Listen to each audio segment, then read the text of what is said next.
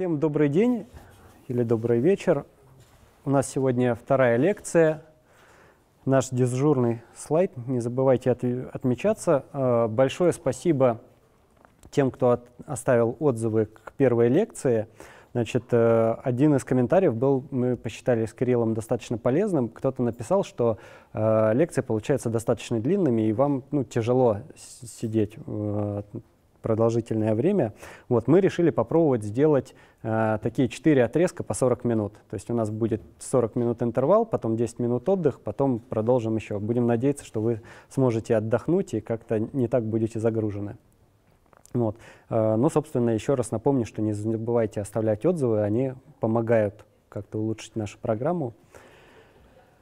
Так, э, на сегодняшний день у нас примерно вот такой план лекции. Сегодня поговорим про, скажем так, основные компоненты андроида. Да, это, собственно, графический интерфейс, то, что мы с вами видим всегда на экране нашего телефона. Это, собственно, Activity, что это такое, как они работают, э, какие там есть проблемы. Потом мы поговорим про фрагменты, это часть Activity.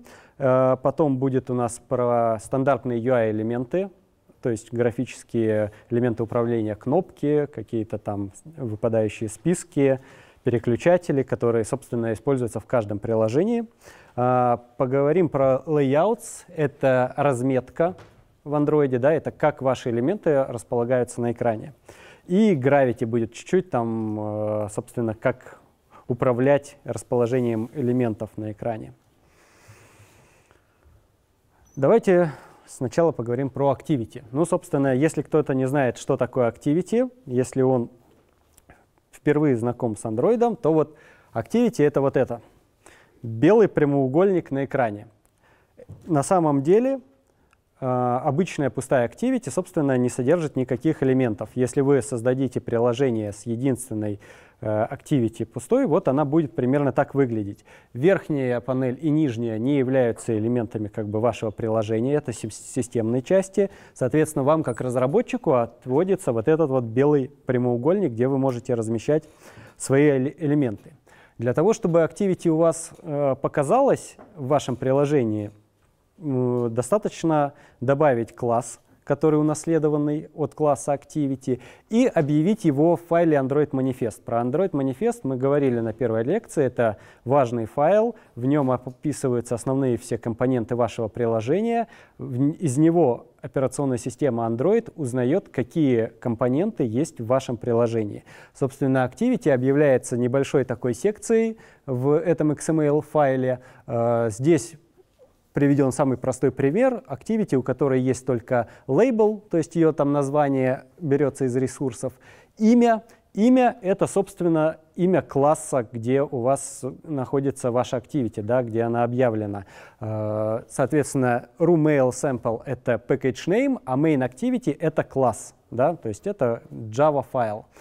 И, соответственно, intent filter, про него поговорим дальше, он обеспечивает скажем так, фильтр событий, на которые Activity будет реагировать, от чего она, собственно, появится на экране. Значит, если вы забыли объявить Activity в Android манифесте и пытаетесь ее создать из кода, да, то есть ну, показать на экране, у вас приложение упадет.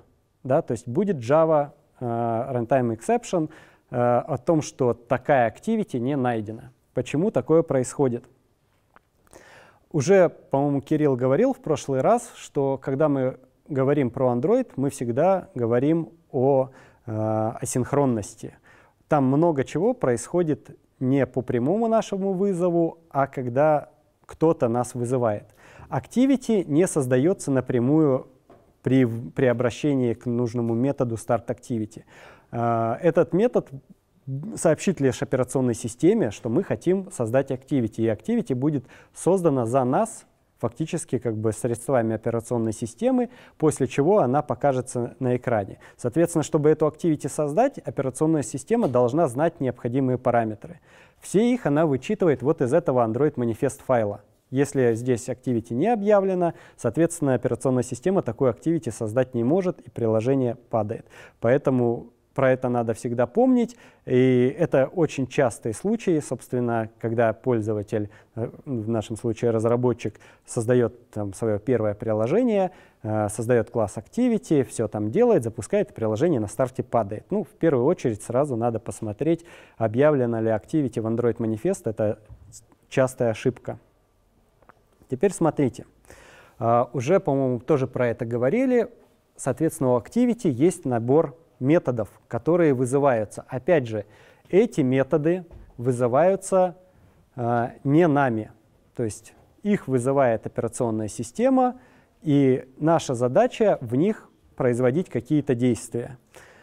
Набор их, в принципе, довольно небольшой. Как видите, все начинается вот этого зеленого человечка, вызывается метод onCreate. Этот метод создается, собственно, вызывается в тот момент, когда activity создана, да, то есть создан такой класс, и мы должны ее проинициализировать.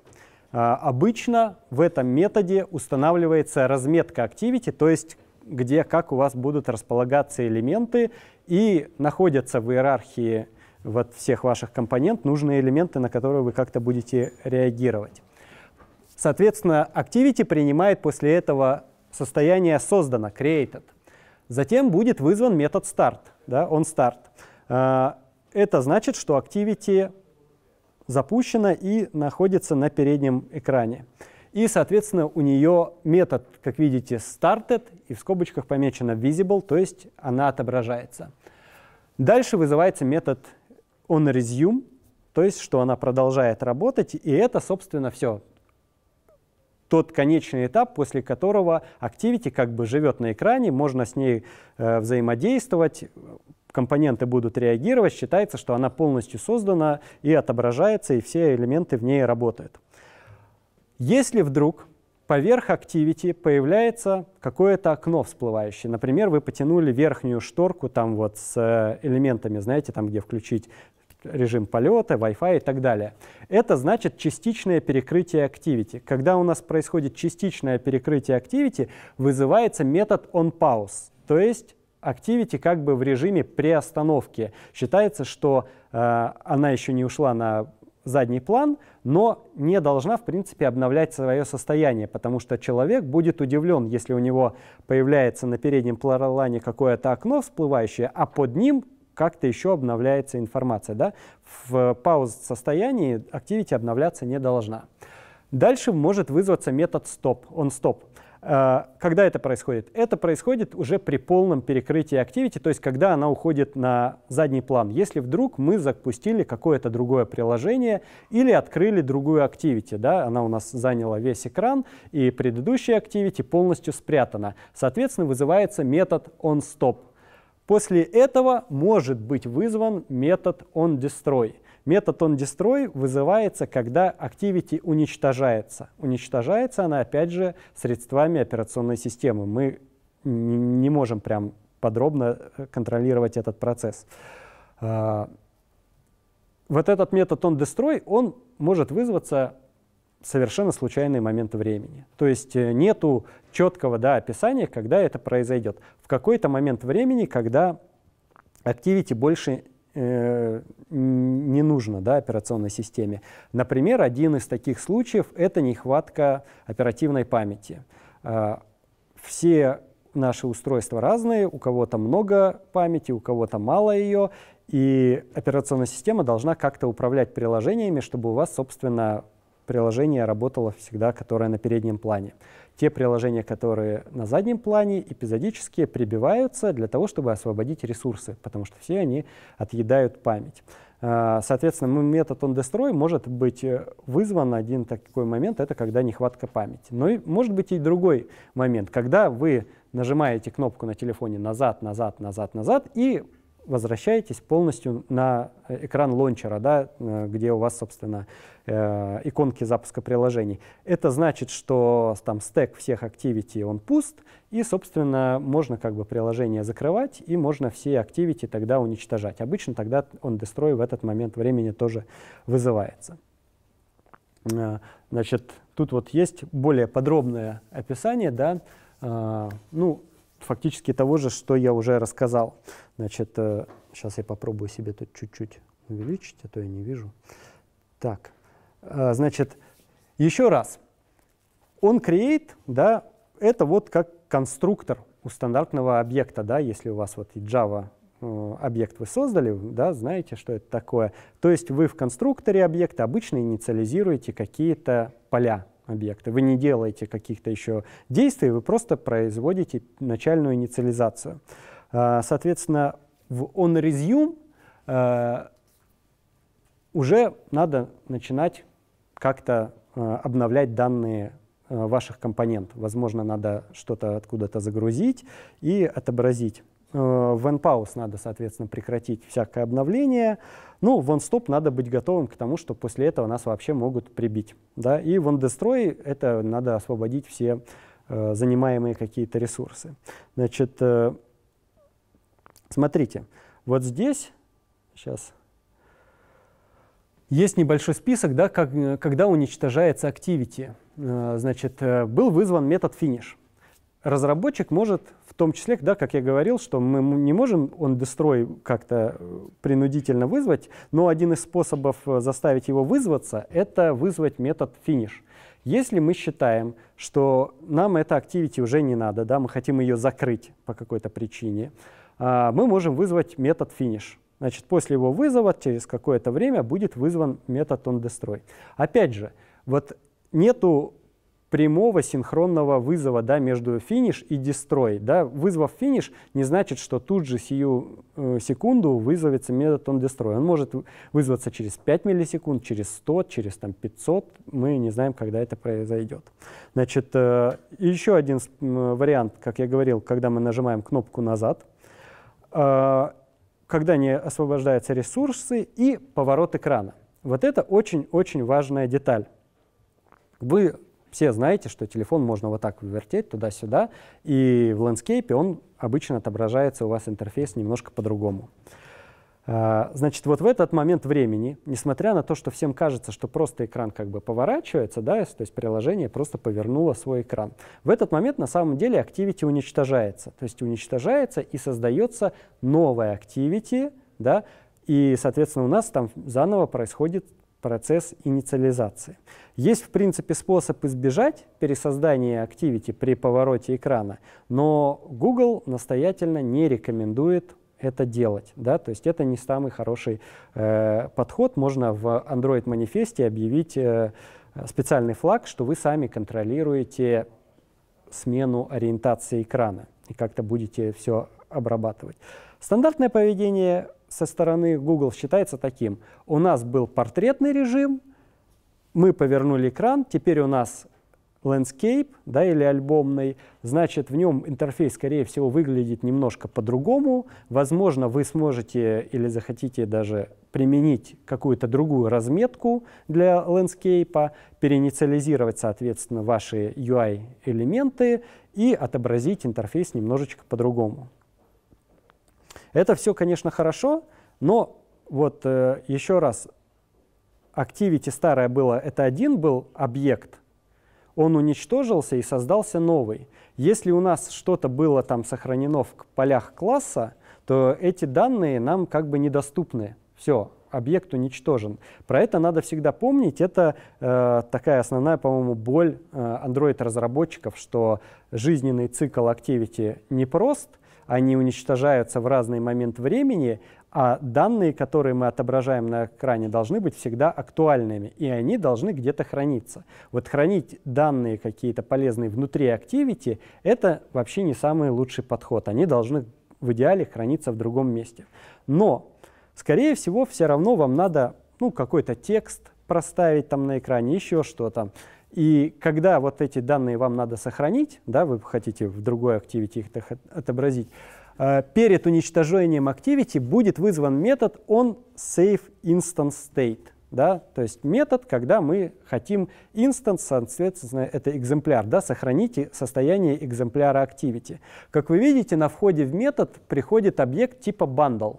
Bundle — это такой э, универсальный в Android объект, он много где используется. Э, грубо говоря, в нем можно хранить какие-то значения по ключам. Да? То есть если вы работали в каких-то языках программирования с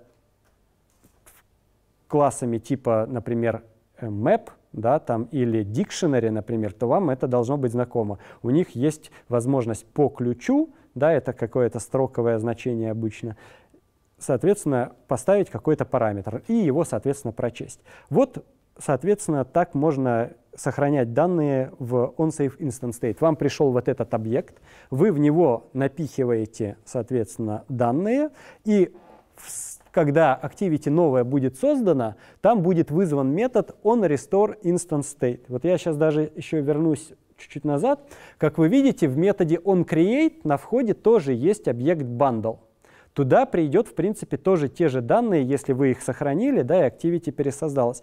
Но, опять же, это не лучший способ вот там вот обрабатывать э, пришедшие данные, потому что у вас Activity еще не проинициализировано. То есть вы должны сначала все объекты как бы создать, а уже потом их э, значения выставить в нужные из бандла. Google рекомендует, соответственно, все-таки использовать вот этот метод on restore instance state. Он будет вызван после метода onCreate, да, позже. И если он вызвался, там вот этот объект bundle точно есть. То есть не надо проверять, он, например, null или не null. Да? Он там есть, и вы можете прочесть из него данные. А вот в методе onCreate этот объект может быть null, да? соответственно, если у вас ничего не сохранилось. Теперь, э, вот смотрите, тут вот написано внизу, важно, что если метод onSaveInstanceState был вызван, это еще не значит, что будет вызван метод onRestore.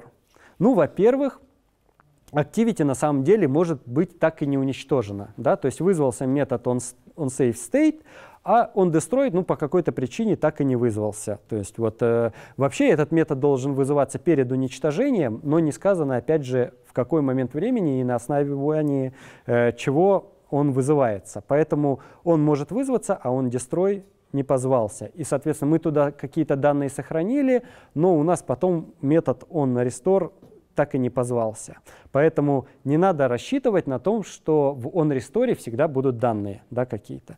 Потом, вот эти данные, они вообще хранятся недолго. При повороте Activity обычно они, собственно, доступны, а вот если мы, соответственно, именно там нажимаем кнопку назад, а потом через некоторое время запускаем приложение заново, туда вот этот объект не придет. То есть вообще не надо рассчитывать на то, что это как какое-то такое, знаете, постоянное место хранилища ваших данных. Да? А, это просто такой временный объект на тот случай, вот если у вас быстрое происходит пересоздание Activity. На большее рассчитывать не надо. И опять же, у вас приложение не должно перестать работать, если у вас метод onRestore, вот этот, не был вызван. Ну, то есть, если он не вызвался, окей, вы просто не заполняете данные, которые в нем есть, но в целом приложение должно работать. Да? Если вдруг даже пошло что-то не так, он не вызвался, у вас там должны быть ваши какие-то значения по умолчанию быть проставлены, но в целом приложение должно быть э, в рабочем состоянии. Вот здесь э, приведен пример, как примерно вызывать эти методы. Ну, тут интерфейс, как видите, очень простой. Вот вверху метод onSaveInstanceState, он вызывается, да. А, значит, э, тут, соответственно, вызывается там метод putInt, да, то есть положить э, какое-то целочисленное значение вот по вот этому ключу, здесь по вот этому ключу, они объявлены у нас вот константами. И, соответственно, не забывайте вызвать метод у родителя, да, когда у Supper вы вызываете onSafe instance state и дальше передаете тот же самый объект. Почему это важно? А, Activity сохраняет вот иерархию вьюшек, которую вы там создали, тоже вот в этом объекте, да, и, соответственно, как раз родитель произведет вот эти действия, он там вот сохранит э, иерархию вот этих view. Вот. Ну и вот, соответственно, он restore instance state, когда он позвался, первым в первую очередь вы вызываете метод у родителя, чтобы он восстановил да, какие-то свои данные, которые он сохранил, а дальше восстанавливаете значения, которые вы э, туда записали, соответственно, поля getInt, и здесь тоже getInt, и вы там какое-то да, там значение, уровень, может быть, там все что угодно. Теперь смотрите еще, что очень важно. А, вот эти данные, которые передаются через вот этот объект bundle, их можно, и мы сейчас чуть позже поговорим про объекты intent, что это такое, туда тоже можно этот bundle запихивать. а, вот их размер должен быть очень небольшим. А, на там все приложение отводится, по-моему, порядка 1 мегабайта данных, которые могут быть сохранены вот в этих разных там бандлах. Да? То есть запихивать вот сюда в bundle, например, какой-нибудь image, да, не надо. Или какой-то, ну, большую там, я не знаю, там JSON файл или еще что-то.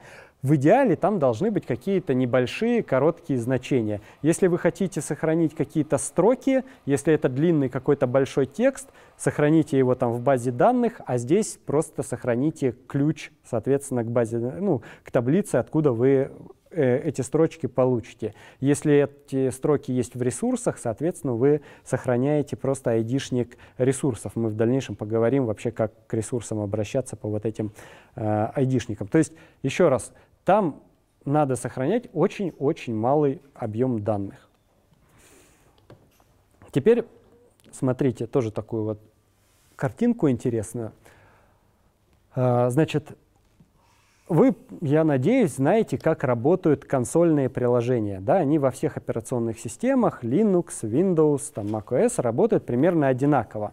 Это, соответственно, мы уже, по-моему, даже говорили на, на первой лекции, вызов метода main в вашем приложении. Дальше вы выполняете последовательность действий. Там может быть вызов еще каких-то методов и еще что-то. Но в конечном итоге вы вызываете э, return 0, да, который показывает, что, собственно, приложение корректно завершилось, и приложение на этом ваше завершается. Да? То есть, и это нормальное поведение приложения. Вы знаете, что вы набрали какую-то команду, нажали Enter, иногда надо немного подождать, что-то происходит, и хоп, нам вернулся какой-то результат в командной строке.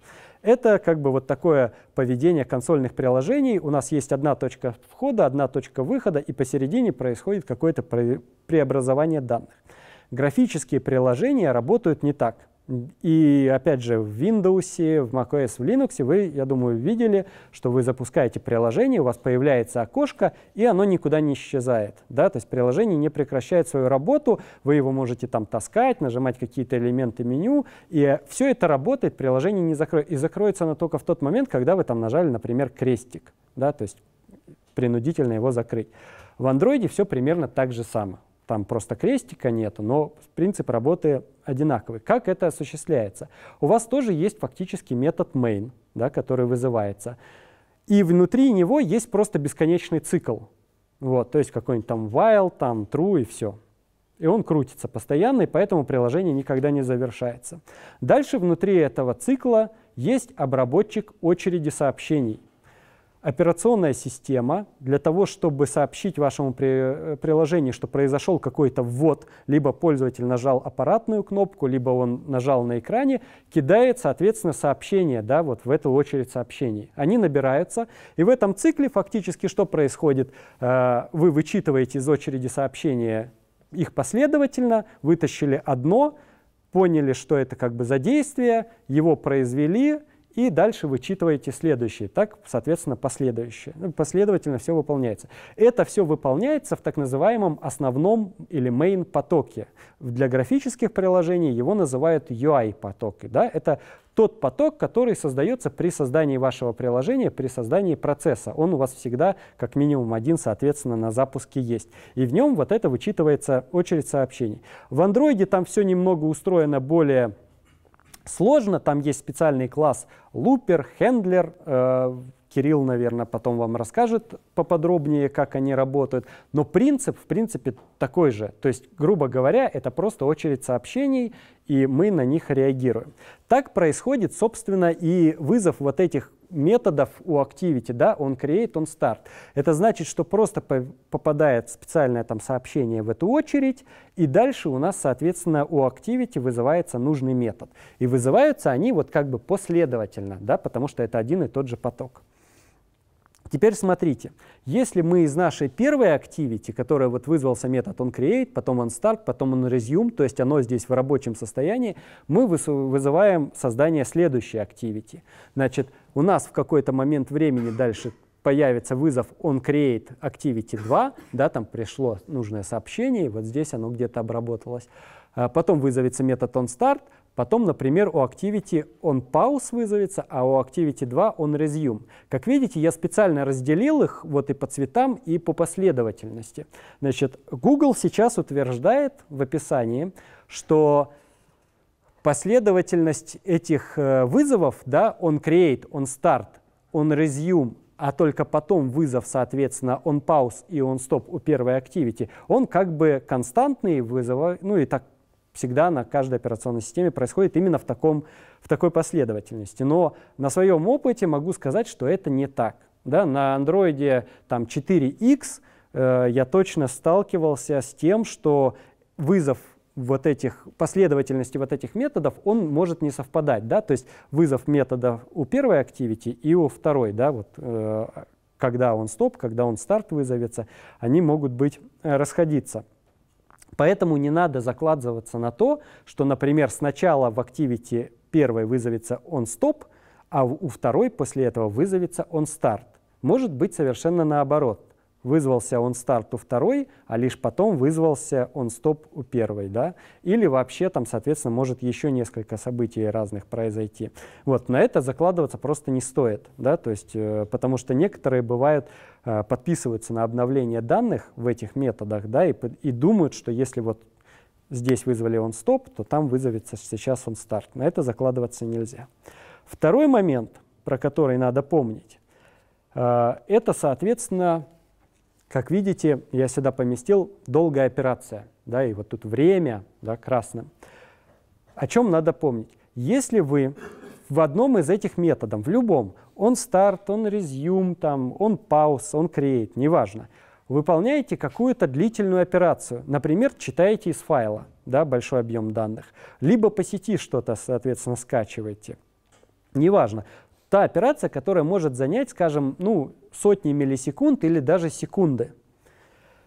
Вот когда она выполняется, у вас вот эта очередь сообщений дальше не обрабатывается да, то есть у вас вот на этом действии все крутится, а следующие сообщения, которые сюда пришли, они не обрабатываются. Что происходит? Ну, если у вас там Windows, то вы, наверное, могли видеть, когда у вас приложение подвисает, вы начинаете его таскать, и оно за собой, там, например, следы такие оставляет по экрану. Это значит, что просто не приходит сообщение на перерисовку. Точнее, оно в очередь попало, но оно не обрабатывается, и окошко не перерисовывается. Да? В Android ну, почти то же самое, просто там окно занимает весь экран, и его подвигать нельзя. Но экран в этот момент не, об, не обновляется. При, пользователю кажется, что приложение повисло. Да? То есть вы нажимаете, оно никак не реагирует. А через какой-то промежуток времени времени, по-моему, это там 10 секунд, а, Google вообще покажет вам всплывающее сообщение о том, что приложение не отвечает, и давайте, может быть, его прибьем, да, и там кнопочкой принудительно его завершить.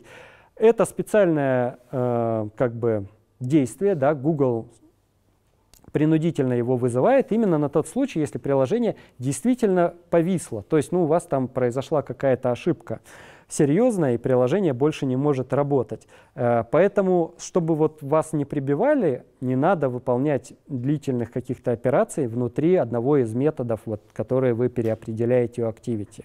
Все, что связывает как бы вот с этим UI-потоком, все эти действия должны выполняться очень быстро.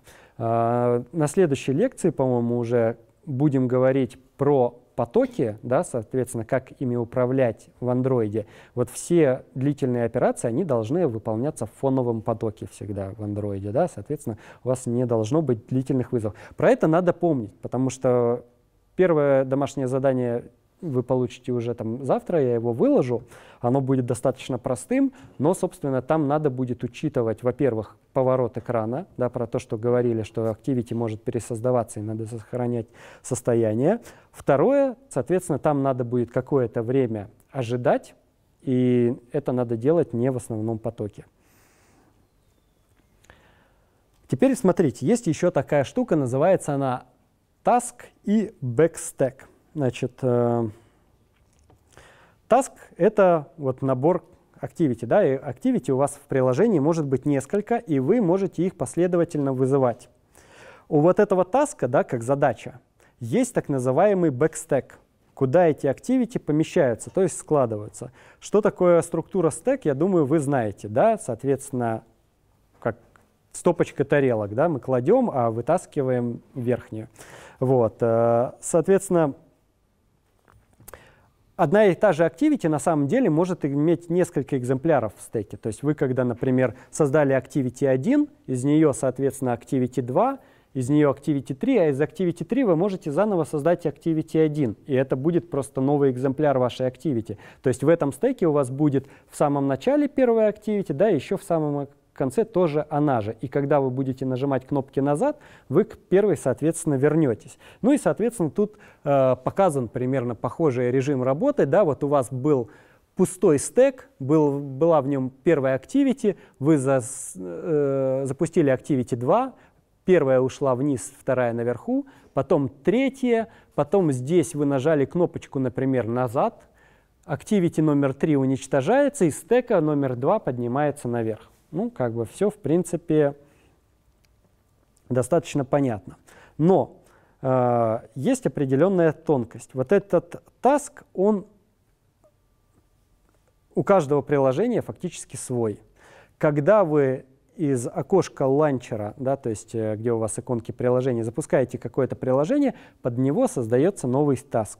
Да, и, соответственно, в нем вы уже ходите между своими activity. Это сделано для того, чтобы у вас как бы не нарушалась последовательность перехода между экранами в основном да, экране, то есть где у вас лончер, и в вашем приложении. Вот, когда вы создаете новую activity, она создается в этом же вашем таске. Но, в принципе, есть возможность принудительно указать, что для Activity вы хотите создать э, новый таск. Да, и если вам это действительно необходимо. В принципе, это бывает иногда э, полезно. Мы такой подход э, при там, создании наших приложений использовать не, мож, не будем, он, в принципе, не так часто используется, но про него надо помнить. Один из таких случаев, если вдруг мы создаем activity из сервиса. Что такое сервисы, мы еще в дальнейшем поговорим, но когда вы там запускаете activity, у вас фактически нету как такового, да, там, таска и стека activity, поэтому вам всегда надо создавать новый.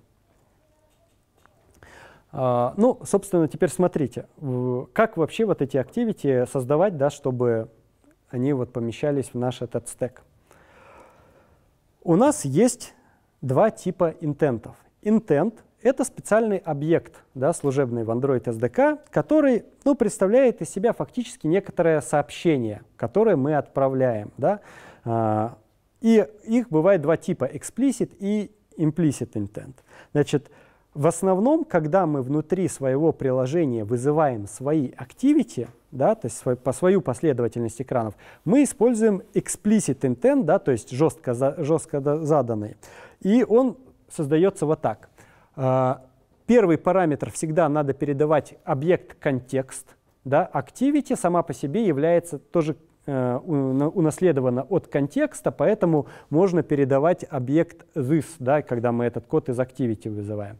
Второй параметр — это, собственно, класс той activity, которую мы хотим показать на экране. Да? То есть вот Соответственно, класс — это тоже объект в Java, поэтому вот у вас есть такой класс, скажем, WordsWriter там какой-нибудь, и вот вы его сюда передали. И затем вызываете метод startActivity. Да? Этот метод есть у Activity там и, соответственно, там внутри сервиса. Все, поместили сюда этот объект, и Activity будет создана. Опять же, не забываем о том, что она будет создана не сию секунду, а спустя какой-то период времени. То есть э, Activity Manager — раз, разберет вот это сообщение, поймет, что мы хотим запустить, передаст в наше приложение, и дальше запустится Activity. Будет оно там второе создано. Но бывают исключения. Например, нам иногда надо показать Activity другого приложения. Я думаю, вы прекрасно знаете, что там из многих приложений можно открывать ссылки, да, и они открываются в браузере в Android. Как это происходит? Это происходит через так называемый implicit intent, то есть неявный, когда вы не знаете, как называется класс той activity, которую вы хотите показать. Это вполне логично, когда вы хотите показать что-то в другом приложении. Да? Вы не знаете, как, какие там классы. Но есть такой набор параметров, по которым можно сказать другому приложению, ну, примерно, что вы хотите показать. Один из таких способов называется action. Вот он здесь. Значит, это на самом деле просто строка. Просто в, э, в своем Android-манифесте Android, э, Android-приложения говорят, что они могут реагировать на вот такой экшен. Сейчас мы вернемся прям, я думаю, в самое начало. Секундочку. А, так, где там это было? С экшеном объявления. А, вот. Вот. Вот помните вот этот intent фильтр? Да? Вот как раз здесь объявляется, на какие события ваша activity может реагировать. Видите, вот здесь как раз указан action, Android, intent, action main и категория. Android, категория launcher. Вот этот фильтр указывает, что наша activity реагирует вот на такой action, и если кто-то его нам отправит да, в наше приложение, то мы, соответственно, вот эту activity и покажем. Поэтому как бы лончер не знает, какой класс да, отвечает за activity в наше приложение, но он знает, что у нас приложение реагирует вот на такой, соответственно, action, и он будет отправлен в наше приложение. И дальше покажется вот это наше activity, именно посредством вот такого implicit intent. Так, где там у нас?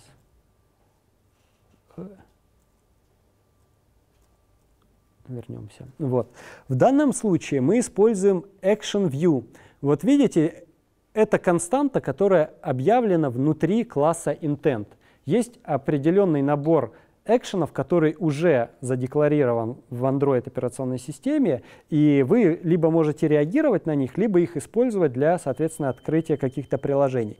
Вот когда вы указываете action view, то есть отображение, и в дате вот здесь указываете текст очень похожий на HTTP там, или HTTPS ссылку, да, то, соответственно, операционная система знает, что вы, наверное, хотите открыть какую-то ссылку. И, соответственно, тот, кто объявляет в своем Android-манифесте, что он может реагировать на такой экшен и умеет открывать ссылки, он, собственно, и будет вызван. Если у вас несколько таких приложений, то, соответственно, что произойдет? Я думаю, вы тоже видели, у вас появляется такое всплывающее окошко, чем вы хотите открыть. Да, например, если у вас несколько браузеров, там э, Chrome, Firefox, Яндекс браузер, то у вас их будет три штуки. И вы указываете, что либо всегда открывать, либо только один раз. Да, и операционная система открывает, потому что она не знает, да, чем вы хотите отобразить вот эти данные. Соответственно, э, дальше все э, остается на выбор пользователя. Но бывает еще такой случай, да, это вот как бы это про запуск Activity, два способа – explicit, implicit, intent. Но бывает, когда нам надо запустить activity, а потом еще получить оттуда результат. Да? В настольных операционных системах это обычно называется модальное окно, то есть которое появляется поверх вашего окна, предыдущее становится как бы нерабочим, и когда оно закрывается, возвращается результат в основное окно. В андроиде такого нету, они немножко все сделали по-другому, и, э, собственно, там все на activity, и можно просто попросить другую activity, да, чтобы она, соответственно, вернула нам какой-то результат. Как это сделать? Когда мы запускаем сторонние activity, как видите, вот это получатель, это то activity, откуда мы запускаем второе activity, и которое будет ждать какого-то результата. Значит, что мы используем? Создаем обычный такой же intent, как уже был у нас, но вызываем метод не start activity, а вызываем start activity for result, и видите, здесь передаем числовое значение. Значит, вот так в коде писать не надо, да, соответственно, вот такие вот, э, э, видите, используйте константы. Значения должны быть вообще в хорошем коде вынесены у вас куда-то в статические константы, потому что в одном месте вы ее объявляете, потом в нескольких местах используете, чтобы она вдруг никак не потерялась. Дальше вы переопределяете внутри своей activity метод onActivityResult, который получает на входе три параметра – код, э, там, result и какую-то дату. Значит, что это такое? Вот в этот метод вернется как бы результат от второй activity, если она, соответственно, его проставила. И, соответственно, вы дальше можете проверить код да, что он совпадает вот с, этой, с этим числом. Для чего это сделано? Вы можете несколько activity запускать. Одну, вторую, третью, четвертую, и от каждой из них получать какие-то результаты. И вам надо знать, что вот это пришло из этой activity, это из этой, это из этой. Для этого, собственно, используется вот эта константа. Вот это вы используете для activity 2, для activity 3 тут будет, скажем, 5, 4, 3, 2, 1, ну и так далее. Да? Сами выбираете эти айдишники. И, соответственно, вот здесь вы по ним определяете, что пришел результат именно от этой activity. Дальше вы проверяете вот этот вот сам result, да, числовое значение. Вот этот result ok — это константа, которая, собственно, объявлена внутри э, класса activity, их там несколько, да, есть ok, а есть cancel, соответственно, что произошла отмена. Ну и дальше вы можете у вот этого intent data проверить тоже поле has extra, да, там тоже могут быть по ключам какие-то данные, ну и если там что-то есть, мы с ними что-то делаем, да, нам вернулся результат.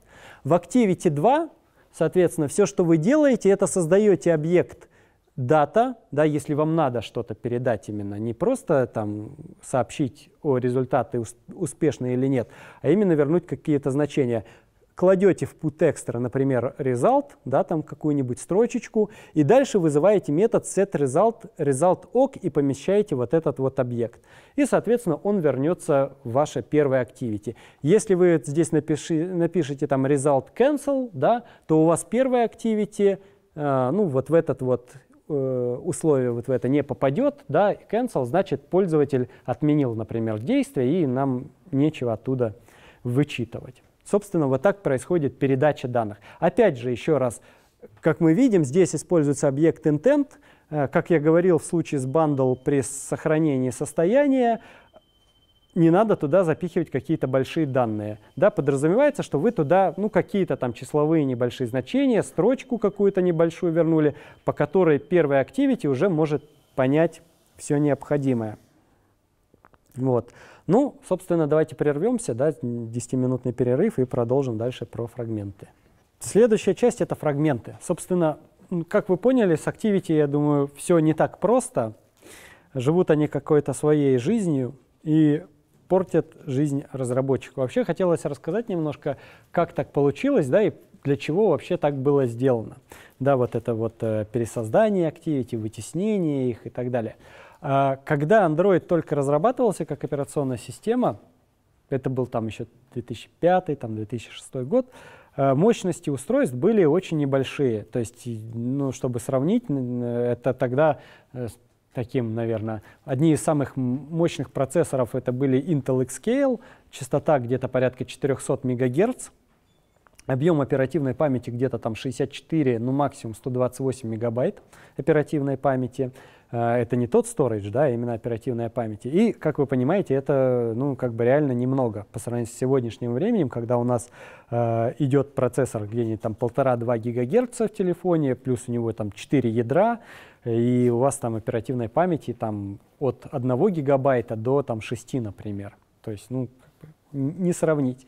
И вот в тот момент времени казалось, что такой подход, он действительно неплох, да, с Activity. То есть вот э, они должны мало ресурсов потреблять, в любой момент э, операционная система их может вытеснить, и они должны как-то пересоздаваться, еще что-то. Но на сегодняшний день это больше создает проблем, чем пользы. То есть если вы э, там почитаете какие-то дополнительные материалы, описания, почитаете там где-то на форумах, как народ жалуется на, собственно, то, что сложно управлять вот этим жизненным циклом, вам станет понятно, э, что жить с этим не так уж легко. И вам будет как разработчикам тоже немного сложно. Значит, собственно, еще раз напомню, что просто надо не забывать никакие объемные данные внутри Activity не хранить. При пересоздании Activity их тоже не передавать да, объемные данные. Если вы что-то загружаете объемное, большое из, да, из базы данных с файла по сети, вы делаете это в фоновом потоке, да, Activity слушает.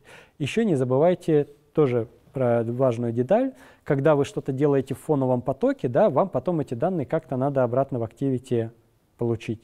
Вот вы, грубо говоря, в методе onStart запускаете это действие, а в методе onStop либо вы его завершаете, либо отписываетесь, да, то есть э, от того источника, который будет вам эти данные предоставлять. Про это надо не забывать, потому что очень много ошибок, связанных с тем, что Activity закрывается, вызывается уже метод onStop, чуть ли не onDestroy, а асинхронная вот эта операция фоновая, она завершила выполнение и пытается что-то вернуть в Activity, а ее состояние там уже неопределенное, и приложение часто падает. Про это надо, собственно, помнить. И многие разработчики думали, что когда появились фрагменты, что вот оно, появилось то счастье, которое избавит нас от вот этих проблем да, с несколькими активити, следить за их жизненным циклом, когда там кто в какой момент времени создастся, еще что-то, потому что фрагменты — это компоненты activity. Сейчас вот мы немножко про них поговорим, значит, что это такое, какой у них жизненный цикл, э, что такое менеджер фрагментов и как их использовать там, включая фрагмент менеджер. Да. Значит, смотрите, вот в какой-то момент времени, помимо смартфона, у нас появились планшеты. Да, это было, наверное, уже, я не знаю, лет 6 7 назад. Э, значит, в этот момент времени для планшетов Google выпустил новую версию Android операционной системы 3.0. Да, на смартфонах на тот момент времени была версия 2X, да, там 2.1, 2.2, 2.3, а на планшетах 3.0. И там появился новый API, фрагменты. С помощью него Google считала, что облегчит жизнь э, создания вот приложений, когда оно вот в таком вот варианте. Да? То есть на планшете вы обычно им в альбомной ориентации пользуетесь, и у вас там какой-то список сбоку, часть информации с другого края находится. То есть уже не один экран, а как бы два экрана у вас на, да, на большом экране располагаются разные данные. Значит, э, но при этом это же приложение по-хорошему должно работать на телефоне. То есть э, не предполагается, что вы будете делать отдельно приложение для планшета, отдельно приложение для смартфона. Но сейчас, если вы увидите современные приложения, то у многих из них вы увидите внизу вот такую панельку. Да? Называется она Bottom Navigation Bar. И Google сейчас настоятельно рекомендует именно с помощью нее осуществлять навигацию в вашем приложении. То есть если у вас несколько экранов, то у вас должна быть снизу панелька, вы между ними, между этими экранами так переключаетесь, нажимаете на кнопочки. Это пошло в свое время еще из операционной системы iOS, да, то есть там это было еще очень-очень давно. А, некоторые Android-разработчики пытались такую панель принести на Android еще во времена Android даже 2X, там 4X, и делали, ну, как бы сами такой элемент. Google не рекомендовала его использовать, говорили, что это плохой подход, что так делать не надо. Но на сегодняшний день они, наоборот, пришли к э, заключению, что вот это более лучший способ управления телефоном. Почему? Телефоны со временем становятся крупнее. Я думаю, вы, вы знаете, да, экран становится больше. Э, если раньше экран больше 5 дюймов, это назывался там фаблет, да, то есть э, почти планшет в руке, и таких моделей было несколько, и покупали их только те пользователи, которым ну, действительно нужен был большой экран, то сейчас, наоборот, большинство телефонов именно с большими экранами. То есть э, пользователям они понравились, что данных помещается больше, шрифт крупнее, э, все подробнее. Я думаю, вы также замечали, что пользоваться верхней областью экрана одной рукой неудобно. Да? То есть обычно у вас э, палец большой, который управляет, он находится где-то в двух третях экрана, да, и ближе даже к нижней части. Значит, э, вот такая нижняя панель, она действительно облегчает вам переключение, когда у вас несколько экранов, чтобы у вас не были где-то кнопки наверху, например, а находились внизу. Это на, на самом деле, на, на мой взгляд, э, здорово. Плохо, что Google пришло к этому ну, существенно позже. И вот э, при таких вот экранах да, переключений там тоже используются фрагменты. Значит, что же это все-таки такое? Фрагмент — это, ну, как бы такой контейнер, да, он на самом деле пустой. Просто это некоторая область на экране, внутри которой может быть какая-то иерархия ваших view, да, то есть тех элементов графических, которые отображаются. Этот фрагмент, соответственно, можно при желании показать один в Activity, а можно два. Собственно, примерно такой подход использовался при рекомендации создания приложений для планшетов. Вот здесь он указан. Да? Вот здесь у вас два фрагмента. Один список, один какое-то детальное описание. И для планшета, для планшета у вас разметка сделана так, что у вас два фрагмента помещаются рядом. Один слева, другой справа. И вот они работают. Когда же у вас приложение запускается на экране телефона, у вас те же самые два фрагмента. Вот один, а вот второй. Но они отображаются не одновременно, а последовательно. Вы между ними переключаетесь. Сделать это можно, в принципе, с помощью фрагмент менеджера. И когда вот здесь у вас кнопочки и какие-то данные отображаются на экране, при нажатии на каждую из этих кнопок на самом деле происходит смена фрагмента. Да, то есть фрагмент — это просто контейнер, внутри которого живут наши UI-элементы. Но у него есть тоже жизненный цикл. Почти как у Activity, он с ним совпадает. Тут такая картинка достаточно подробная. На самом деле список методов почти такой же, как у Activity. А, единственное, что отличается, у него есть метод, например, onAttach. Он вызывается в тот момент времени, когда фрагмент как бы пристыковывается к Activity. Да, фрагменты без Activity не живут. Дальше у нас там с, э, стандартный метод onCreate, очень похожий, как у Activity, и вызывается почти в тот же момент времени. Потом вызывается метод onCreateView. Вот этого Activity нету, мы поговорим, зачем он. А, соответственно, он activity created потом вызывается, он вызывается после того, как activity полностью создана и, соответственно, э, инициализация завершилась. Потом он start, он resume, а дальше, соответственно, стандартный он pause, он stop, он destroy view, он destroy и он detach. Соответственно, все, что отличается от activity здесь, это он destroy view, которого нету, да, ну он, соответственно, связан с методом onCreateView. Там создается вьюшка, тут она у нас уже уничтожается. Метод onDestroy, как у Activity, да, это когда фрагмент уничтожается, и onDetach, когда фрагмент отстыковывается activity, от Activity, то есть с ней уже не связан. То есть вот в эти моменты времени э, фрагмент еще может как бы на самом деле жить, но Activity там может уже не быть. И про это надо помнить. А, ну, тут, соответственно, все вот это перечислено. Теперь смотрите, как фрагмент объявлять. Значит, есть два способа объявления фрагмента. Тут мелко, вы извините, но по-другому было никак не упихнуть.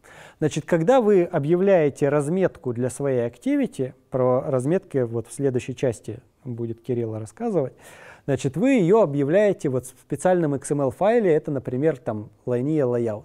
И внутри этой разметки вы объявляете секцию, которая называется фрагмент.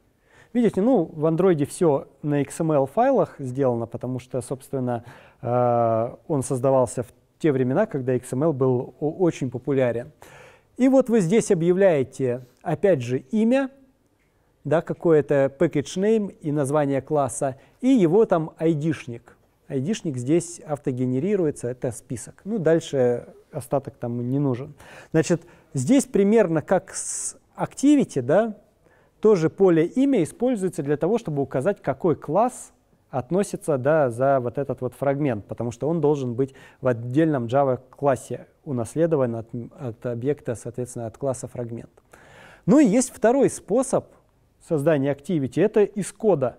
То есть не надо внутри разметки ничего объявлять, вы просто э, в коде создаете фрагмент вручную, вот так просто создаете свой экземпляр класса, потом обращаетесь к фрагмент-менеджеру, он есть у Activity, да, вы у Activity вызываете get фрагмент менеджера и метод, соответственно, begin transaction. Begin transaction это значит, что вы какую-то последовательность действий с фрагментами хотите сделать.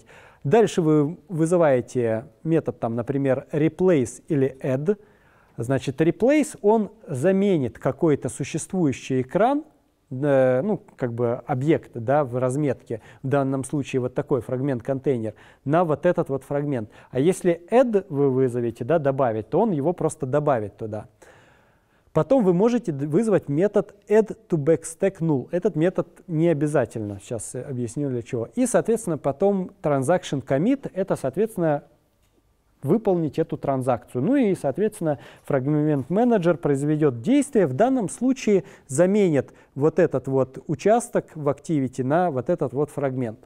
Вот этот метод add to backstack означает, что вы хотите, чтобы при нажатии на кнопку назад этот фрагмент как бы ну, убрался. Да, то есть э, как, как activity у нас из стеков да, вот этих в стаске убираются, когда мы нажимаем кнопку назад, также и фрагменты могут убираться назад. Для чего это сделано? Когда у вас э, навигация внутри приложения сделана на фрагментах, то есть вот у вас есть один фрагмент, да, это какой-то контейнер с какими-то элементами. Вы нажали на какую-то кнопку, и вы хотите показать, ну, как бы второй экран, то есть другой набор элементов. Что вы делаете? Вы этот, соответственно, либо полностью убираете фрагменты, либо не трогаете, а добавляете новый через метод add.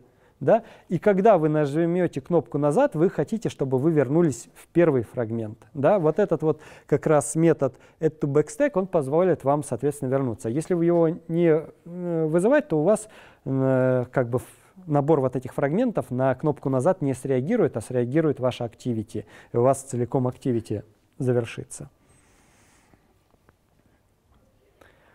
Uh, ну, соответственно, для чего нужен фрагмент менеджер? Да? Он позволяет нам управлять фрагментами, позволяет их добавлять, э, позволяет работать со стеком э, этих транзакций, да? туда можно добавлять, э, все идет вот через transaction. И, соответственно, надо не забывать вызывать метод потом commit, для того, чтобы закоммитить. Сейчас, может, немножко непонятно, да, как вообще это работает, но вот я сейчас закончу про фрагменты рассказывать и покажу небольшой пример, где у нас будет, соответственно, и activity, и у нас будет там маленький пример с фрагментом, да, как происходит его э, добавление на экран.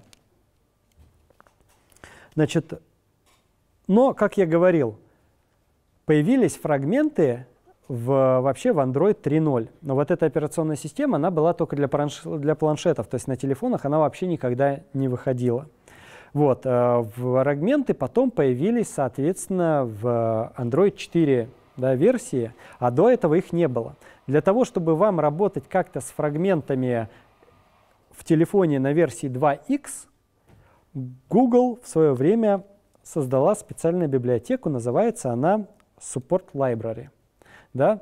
Э, мы ее будем активно использовать. По-моему, про нее уже несколько раз упоминали тоже на первой лекции. Значит, для чего она сделана? Когда у вас выходит новая версия операционной системы Android, там появляются какие-то новые API, которые доступны, соответственно, только в этой версии Android, а в предыдущих их нету. И для того, чтобы как-то их ну, скажем, эмулировать на предыдущей версии или сделать вместо них заглушки, Google поддерживает вот эту support library, да, библиотеку обратной совместимости, чтобы у вас часть вот этих методов в новой версии операционной системы появилась и на старой. То есть она не входит да, в комплект самой операционной системы, а просто распространяется вместе с вашим приложением. Вот также фрагменты попали вот в эту uh, support library да, в свое время. И для того, чтобы работать с фрагментами, и они были доступны вообще на каждой ну, одной из э, версий операционной системы Android, надо, чтобы ваша Activity наследовалась вот от AppCompat Activity. Это ну, самый современный такой класс из Support Library, который рекомендуется, для, от которого надо наследовать Activity. Там есть, еще есть, в принципе, Fragment Activity. Это другой класс, который ну, раньше появился, и раньше его использовали. Да? Э, вся, э, собственно, идея в том, что у activity, унаследованных вот от такого класса, есть метод не get support, э, не get fragment manager, да, а есть get support fragment manager, да, он отличается, то есть он вернет support fragment manager. Get fragment manager, вот этот метод, он будет работать только на Android 4X. Да, если вы попробуете вызвать его на Android 2X, у вас приложение попросту упадет, потому что у Activity нету на самом деле внутри операционной системы такого метода. Вот, поэтому э, рекомендуется использовать GetSupport Fragment Manager. Но на сегодняшний день, в принципе, конечно, э, уже никто не поддерживает Android 2X, да, в основном поддерживает Android 4 и старше, поэтому, в принципе, можно использовать фрагменты, которые идут э, вместе, соответственно, с операционной системой на вашем телефоне, но так как все равно в Activity появляются какие-то новые возможности, э, настоятельно рекомендую вам всегда наследоваться не от Activity, а именно от AppCompat. Вот эта вот библиотека Android Support Library, она сейчас по умолчанию э, прописывается в каждое приложение, созданное с помощью Android Studio. Если вы создаете проект с помощью Android Studio, да, с помощью Wizard, нажимаете Next, Next, у вас там в зависимостях будет Support Library. Да, и, соответственно, используйте ее и наследуйтесь именно от AppCompat Activity, и старайтесь вот, использовать Get Support Fragment Manager. Самое главное, про что надо помнить, что фрагменты из Support Library, они как бы несовместимы с фрагментами, которые у вас в вашей операционной, да, в, в API той операционной системы, которая у вас на телефоне. И если вы попробуете в support фрагмент менеджер запихнуть фрагмент, который создан не вот э, унаследованные от класса фрагменты support library, у вас будет ошибка.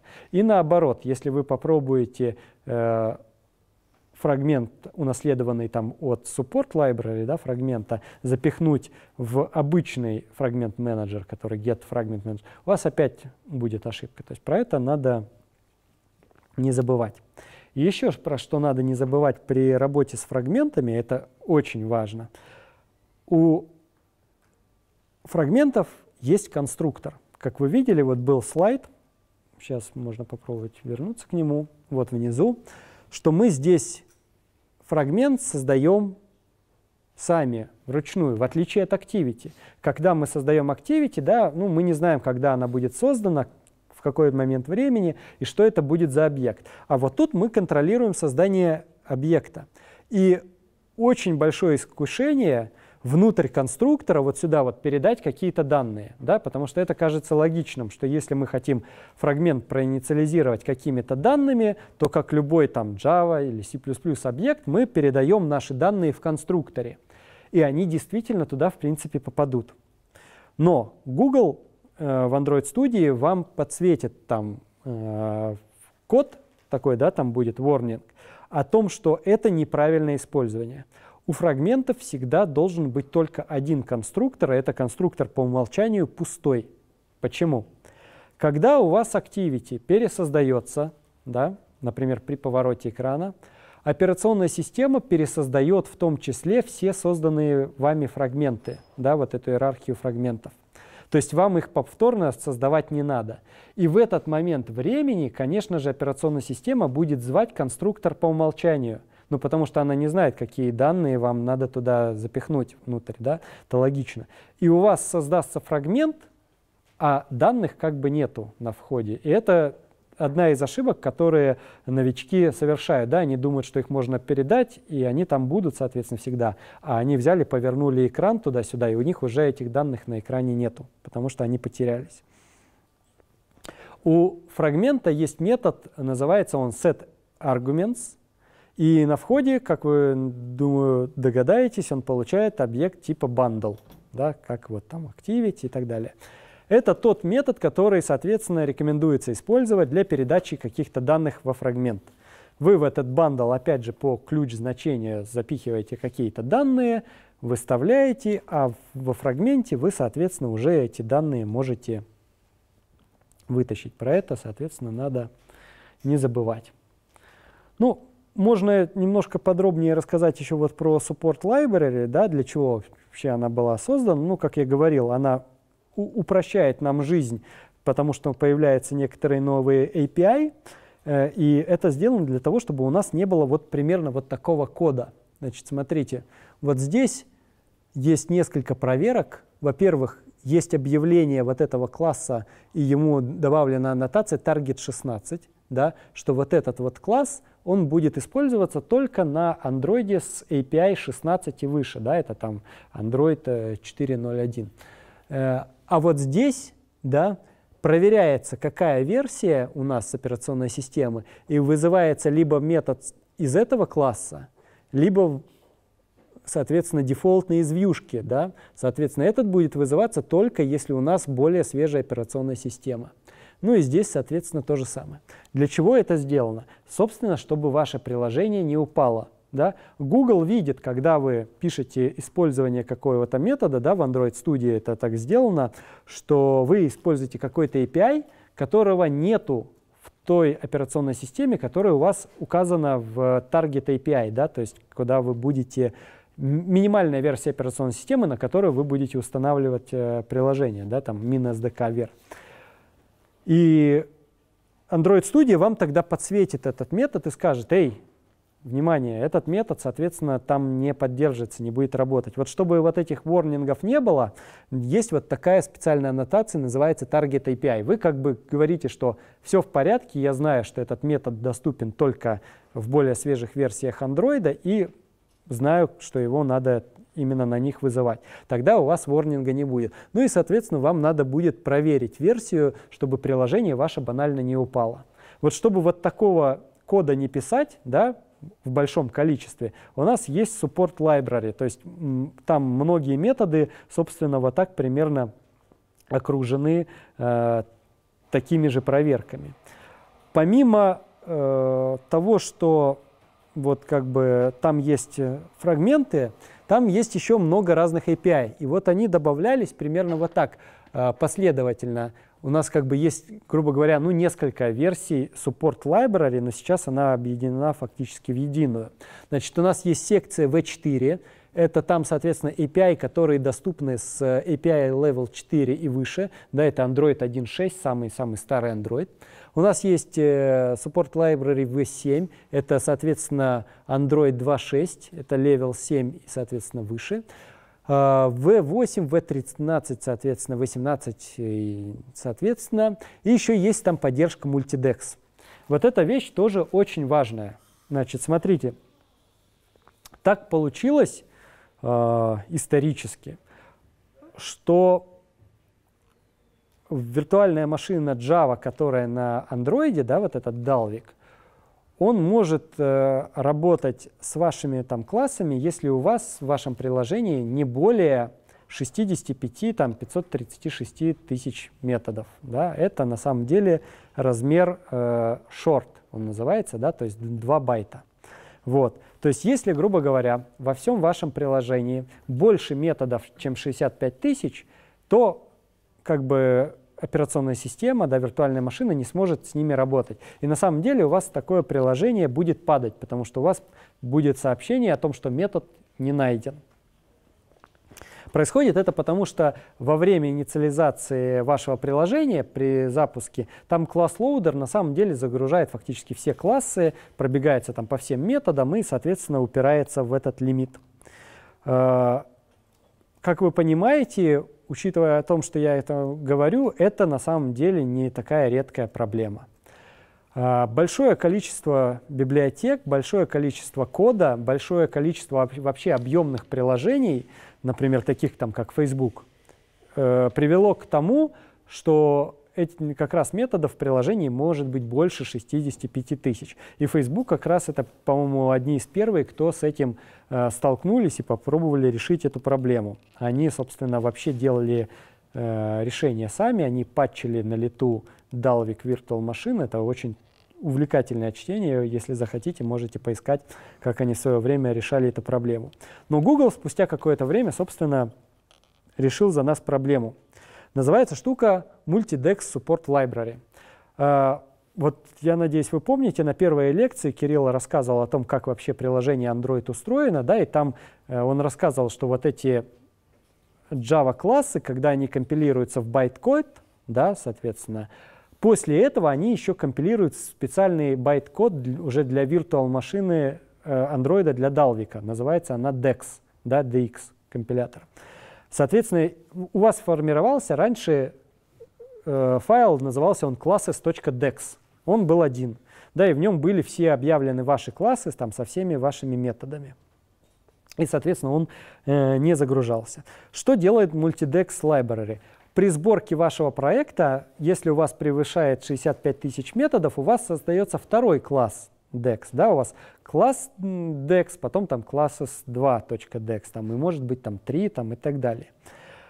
Потом, если ваше приложение, в нем э, есть класс специальный application, если он унаследован, опять же, от multidex application, при запуске у вас будет загружаться не один вот этот DEX файл, а несколько последовательно, и у вас все методы, соответственно, будут найдены и подгружены. приложение не будет падать от того, что, э, собственно, оно не работает.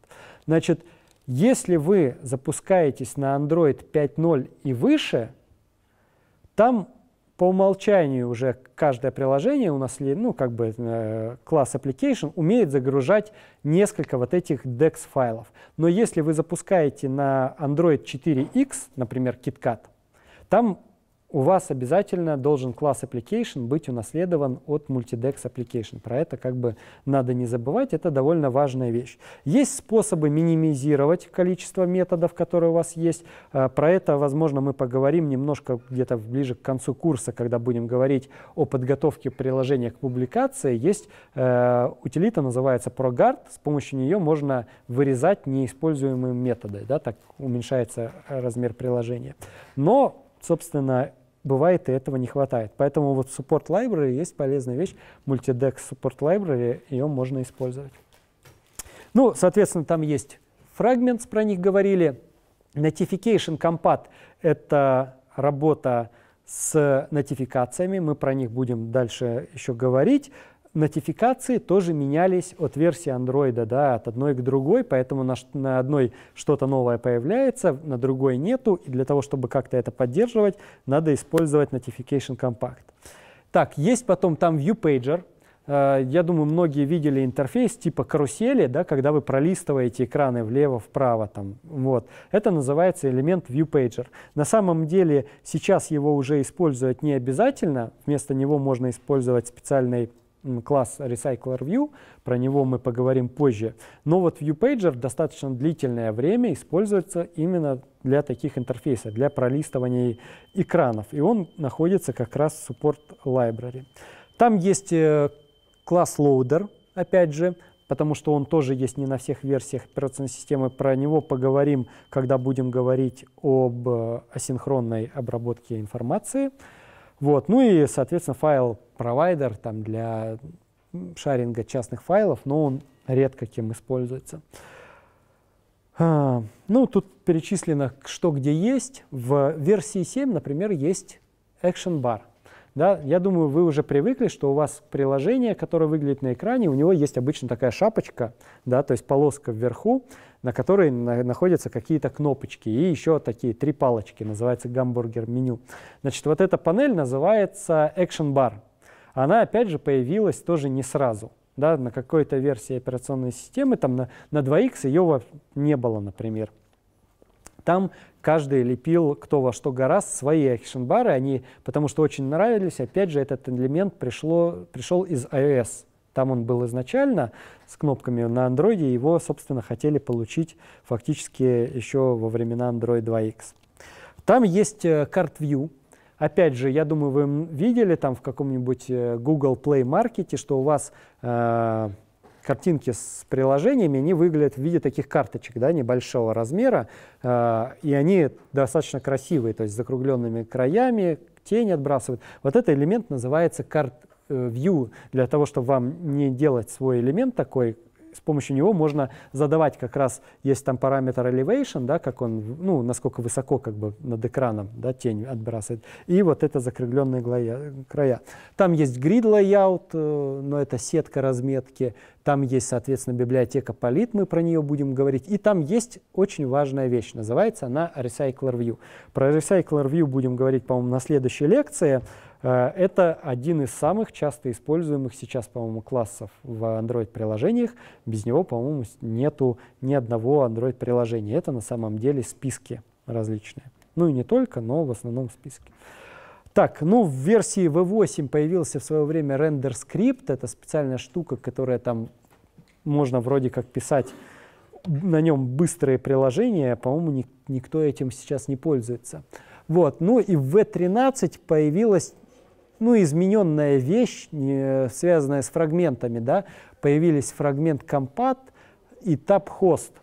Значит, одно время были популярны э, переключения экранов с помощью панели табов. Наверху она находилась, да, там тоже как закладочки, таб 1, таб 2, таб 3. На самом деле она вот появилась, подержалась какое-то время и исчезла с поля зрения. Да, сейчас тоже Google не рекомендует использовать э, ее. Так, ну, в V17 это, соответственно, поддержка всяких телевизоров там появилась, да, линбэк. Мы, к сожалению, в этом курсе не сможем затронуть телевизоры, это отдельная тема, может быть, вы с этим познакомитесь отдельно. Так, ну давайте я покажу небольшое демо. Давайте смотреть наш маленький пример. Ну, для начала запустим приложение. Посмотрим, как оно выглядит. Ну, приложение на самом деле очень простое. Тут просто набор кнопок. А, оно нам пригодится при разборе различных UI-элементов. Это просто список, как видите, он прокручивается. Значит, все, ничего тут такого сложного нет. Теперь давайте смотреть. Значит, во-первых, вот наш проект. Да, мы уже создавали пробное приложение на первой лекции. В принципе, я надеюсь, что вы уже немножко знакомы. Кто-то уже попробовал дома Android Studio запустить, создать приложение. Я думаю, что надеюсь, что вы это сделали, чтобы вы понимали, значит, что у нас происходит здесь. Значит, смотрите, у нас есть манифест, файл, в котором у нас объявлено наше приложение. Значит, у нас здесь используется только один permission интернет. Про permission еще будем в дальнейшем говорить. Это просто, что нам нужен доступ к сети. Дальше у нас, соответственно, наш application. Uh, тут в нем, как видите, много activity. И start activity у нас а, получает, соответственно, intent, который у нас находится в лончере. Если мы посмотрим Android Studio, вот, да, вот здесь вот, эмулятор, то вот у нас там вот эта иконка нашего приложения. Вот чтобы вот она здесь появилась, должен быть вот этот intent фильтр. Если у вас его нету в приложении, у вас в лончере не будет ни одной иконки, и фактически запустить ваше приложение способа не будет. Одна activity хотя бы должна содержать такой. Может несколько activity содержать вот этот intent фильтр, да, например, две. Это, конечно, редко, когда встречается, но в свое время Google сделал так, у них было две иконки, одна для открытия карт, а другая для открытия навигации. Это было на самом деле одно и то же приложение Google Maps. Просто иконка с навигацией, вы попадали в Activity сразу в режиме навигации, да, когда у вас 3D-обзор, а иконка с картой открывала карту, соответственно, в режиме просмотра. Такое, в принципе, делать иногда можно. Вот, но это редко встречается. Дальше у нас список Activity, который без такого фильтра, да, то есть они у нас будут открываться изнутри нашего приложения. Вот. И есть Web View Activity.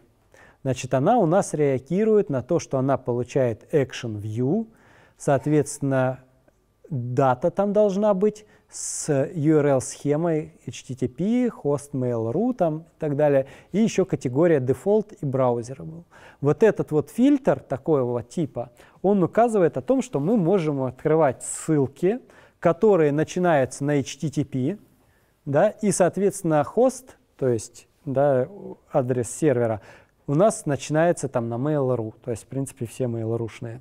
Вот. А, можно, соответственно, как-то его по-другому оформить. Это сделано для того, чтобы вам показать, как можно как раз браузер открывать из приложения. Вот. Теперь давайте посмотрим сам код. Смотрите, вот здесь вот, если у вас package name вашего приложения, да, то есть вот эта вот часть, полностью совпадает там с тем, соответственно, как у вас иерархия вот этих пэкэджей внутри приложений уже на Java уровне, то вы можете использовать сокращенную нотацию. Вы можете указывать только вот здесь точечка и потом класс Activity. Это значит, что он находится вот в этом package name, да? соответственно, вот здесь вот. Иначе вам надо указывать, соответственно, полный package, да, если у вас он не совпадает с тем, что объявлено в Android ID. Переходить к нему, кстати, можно прямо вот отсюда, э, насколько я помню, да? Да, Вот, в macOS это нажать Command, в, в Windows, по-моему, с Ctrl вы нажимаете и кликаете, и сразу открывается вот этот класс. Значит, как вы видите, вот этот класс, он наследуется от AppCompat Activity, там реагирует на ClickListener, это чуть позже Кирилл расскажет, для чего надо. Вот. В нем, соответственно, есть несколько методов. Есть метод onCreate. В методе onCreate, конечно, надо не забывать всегда вызывать родителя, да, сапер. Про это надо не забывать. Все методы, которые внутри Activity вы переопределяете, он create, он stop, он resume, вы также вызываете и у родителя этот метод, чтобы у вас не, не сломалась, грубо говоря, работа вашего приложения. Потом вызывается метод setContentView, он устанавливает разметку на вашей Activity. Здесь потом там адаптер создается, потом опять же будет, что это такое. И там, соответственно, у ListView устанавливается этот адаптер. Как вы видите, количество кода, оно небольшое. Фактически здесь произведена просто начальная инициализация нашей activity. Да, как я говорил, это как конструктору класса. Просто мы задали разметку, и просто мы э, проинициализировали те элементы, грубо говоря, с которыми мы будем в дальнейшем работать. Все, больше нам здесь ничего не надо. Методы э, onStop, onStart, on resume нам не нужны. В данном случае мы ничего не хотим в этих методах, в принципе, вызывать. Нам в этом необходимости никакой нету, потому что, собственно, у нас список константный, он у нас не берется ни по сети, ни откуда не загружается. Соответственно, вот набор элементов вверху, да, который будет отображаться в этом списке. Поэтому нам никак не надо реагировать там, на старт, стоп там, и так далее. Э, метод onClick, он, соответственно, реагирует на нажатие какой-то кнопки. Значит, смотрите, вот здесь в самом начале uh, send message, здесь, соответственно, есть implicit intent, да, объявлено. Здесь показан, как, собственно, открывать вот этот вот implicit intent, про который говорили, да, неявный, который, собственно, э, когда мы не знаем, какое activity мы откроем. Мы просто здесь указываем, что мы хотим открыть страницу http mail.ru, да, и все. И кто-то за нас это сделает. И вызываем метод start activity. Вот, соответственно, он есть у нас. А вот здесь threads. Здесь уже explicit intent, здесь уже явно заданный, да, соответственно, intent. Мы знаем, что нам надо открыть activity, вот это thread activity. Мы в нее можем опять же перейти по контролу там, или по команду, если мы нажимаем и кликаем. Опять же, это activity, унаследованная от appcompat activity, и внутри нее что-то здесь происходит. Вот. Значит, соответственно, это класс, который есть у нас. Мы его знаем. Поэтому мы объявляем сюда, ставим контекст, сюда мы передаем класс и вызываем start activity. Все как бы достаточно просто. Как это там работает, соответственно? Ну, когда вы смотрите это в эмуляторе, у вас есть вот такой список кнопок, у вас есть, соответственно, вот здесь две кнопочки. Один одна кнопка откроет вот такую activity, да, это второй activity. Мы из нее можем спокойно вернуться в первую, вот так, кнопочкой назад. Еще раз, и она отображается. Если мы нажмем вот здесь кнопочку, да, это Recent Applications называется, вот этот Chrome можно закрыть, он как раз показывает вот этот вот а, task, да, про который мы говорили, то есть набор activity. И здесь последняя activity, которая в стеке как бы первая находится. Да. Task у нас сейчас один, мы в него можем вернуться. Вот. Если мы нажимаем кнопку, где там send message, она у нас пытается открыть вот этот вот HTTP адрес. И как видите, она предлагает либо открыть Google Chrome, либо наше собственное приложение, потому что мы тоже умеем реагировать на вот этот Action View и, соответственно, вырабатывать схему. Если мы нажмем вот сюда, вот, Action 3, у нас откроется вот наша страничка там Mail.ru внутри нашего приложения. Да, есть вот, видите, заголовочек. Если мы нажмем сюда, Recent Applications, то опять же показывается наш стек. И мы нажимаем назад. А вот если мы нажмем, выберем Chrome, то это уже открывается в другом приложении. И если мы нажмем на кнопку вот сюда Recent Applications, то, как видите, у нас здесь уже два таска. да, потому что другое приложение, оно создается в своем таске, и у него будет свой стек activity. И мы не обязательно должны, например, закрывать вот это окно для того, чтобы вернуться обратно в свое, вот сюда вот. Да, то есть вот мы вернулись, а Chrome у нас остался открыт. И мы можем, между ними можем переключаться с помощью кнопки Recent Applications. Вот. Это, собственно, очень полезное поведение, да, вот как я говорил, когда можно управлять пересозданием, созданием отдельных тасков. Иногда это бывает удобно для э, имплементирования там, вашего UI. Теперь, что касается фрагмент Activity. Ну, тут ее нажать, ничего особенного нет. Есть кнопочка Show Dialog, показывается, это называется диалог выбора даты, Date Picker э, Dialog. Здесь можно выбрать какую-то данную дату. Ну, вот такую. Все, ничего больше на самом деле не, не происходит. Как это сделано? Значит, у нас есть где-то здесь фрагмент activity. Вот, мы ее создаем тоже с помощью explicit intent. И вот она находится. Значит, смотрите, она очень простая, это activity, наследуется от app Теперь смотрите, вот здесь задается ее разметка. Про разметку сейчас как раз будет рассказ, что это такое. Я пока открою. Как видите, она очень простая. Здесь есть один элемент внутри, называется он frame layout. Кирилл вам сейчас расскажет, что это такое. Это просто на самом деле ну, некий пустой объект. Да, там на самом деле ничего нет. Просто это некоторая область, которую вы как раз хотите заменить да, в в разметке на вот этот фрагмент. Соответственно, что мы делаем? Получаем support фрагмент менеджер. Если у нас нет никакого э, то, соответственно, мы говорим вот этот вот ID фрагмент, да, еще раз открою разметку, видите, у него есть айдишник, называется ID фрагмент. Можете назвать его как угодно. К нему вы можете обращаться из кода.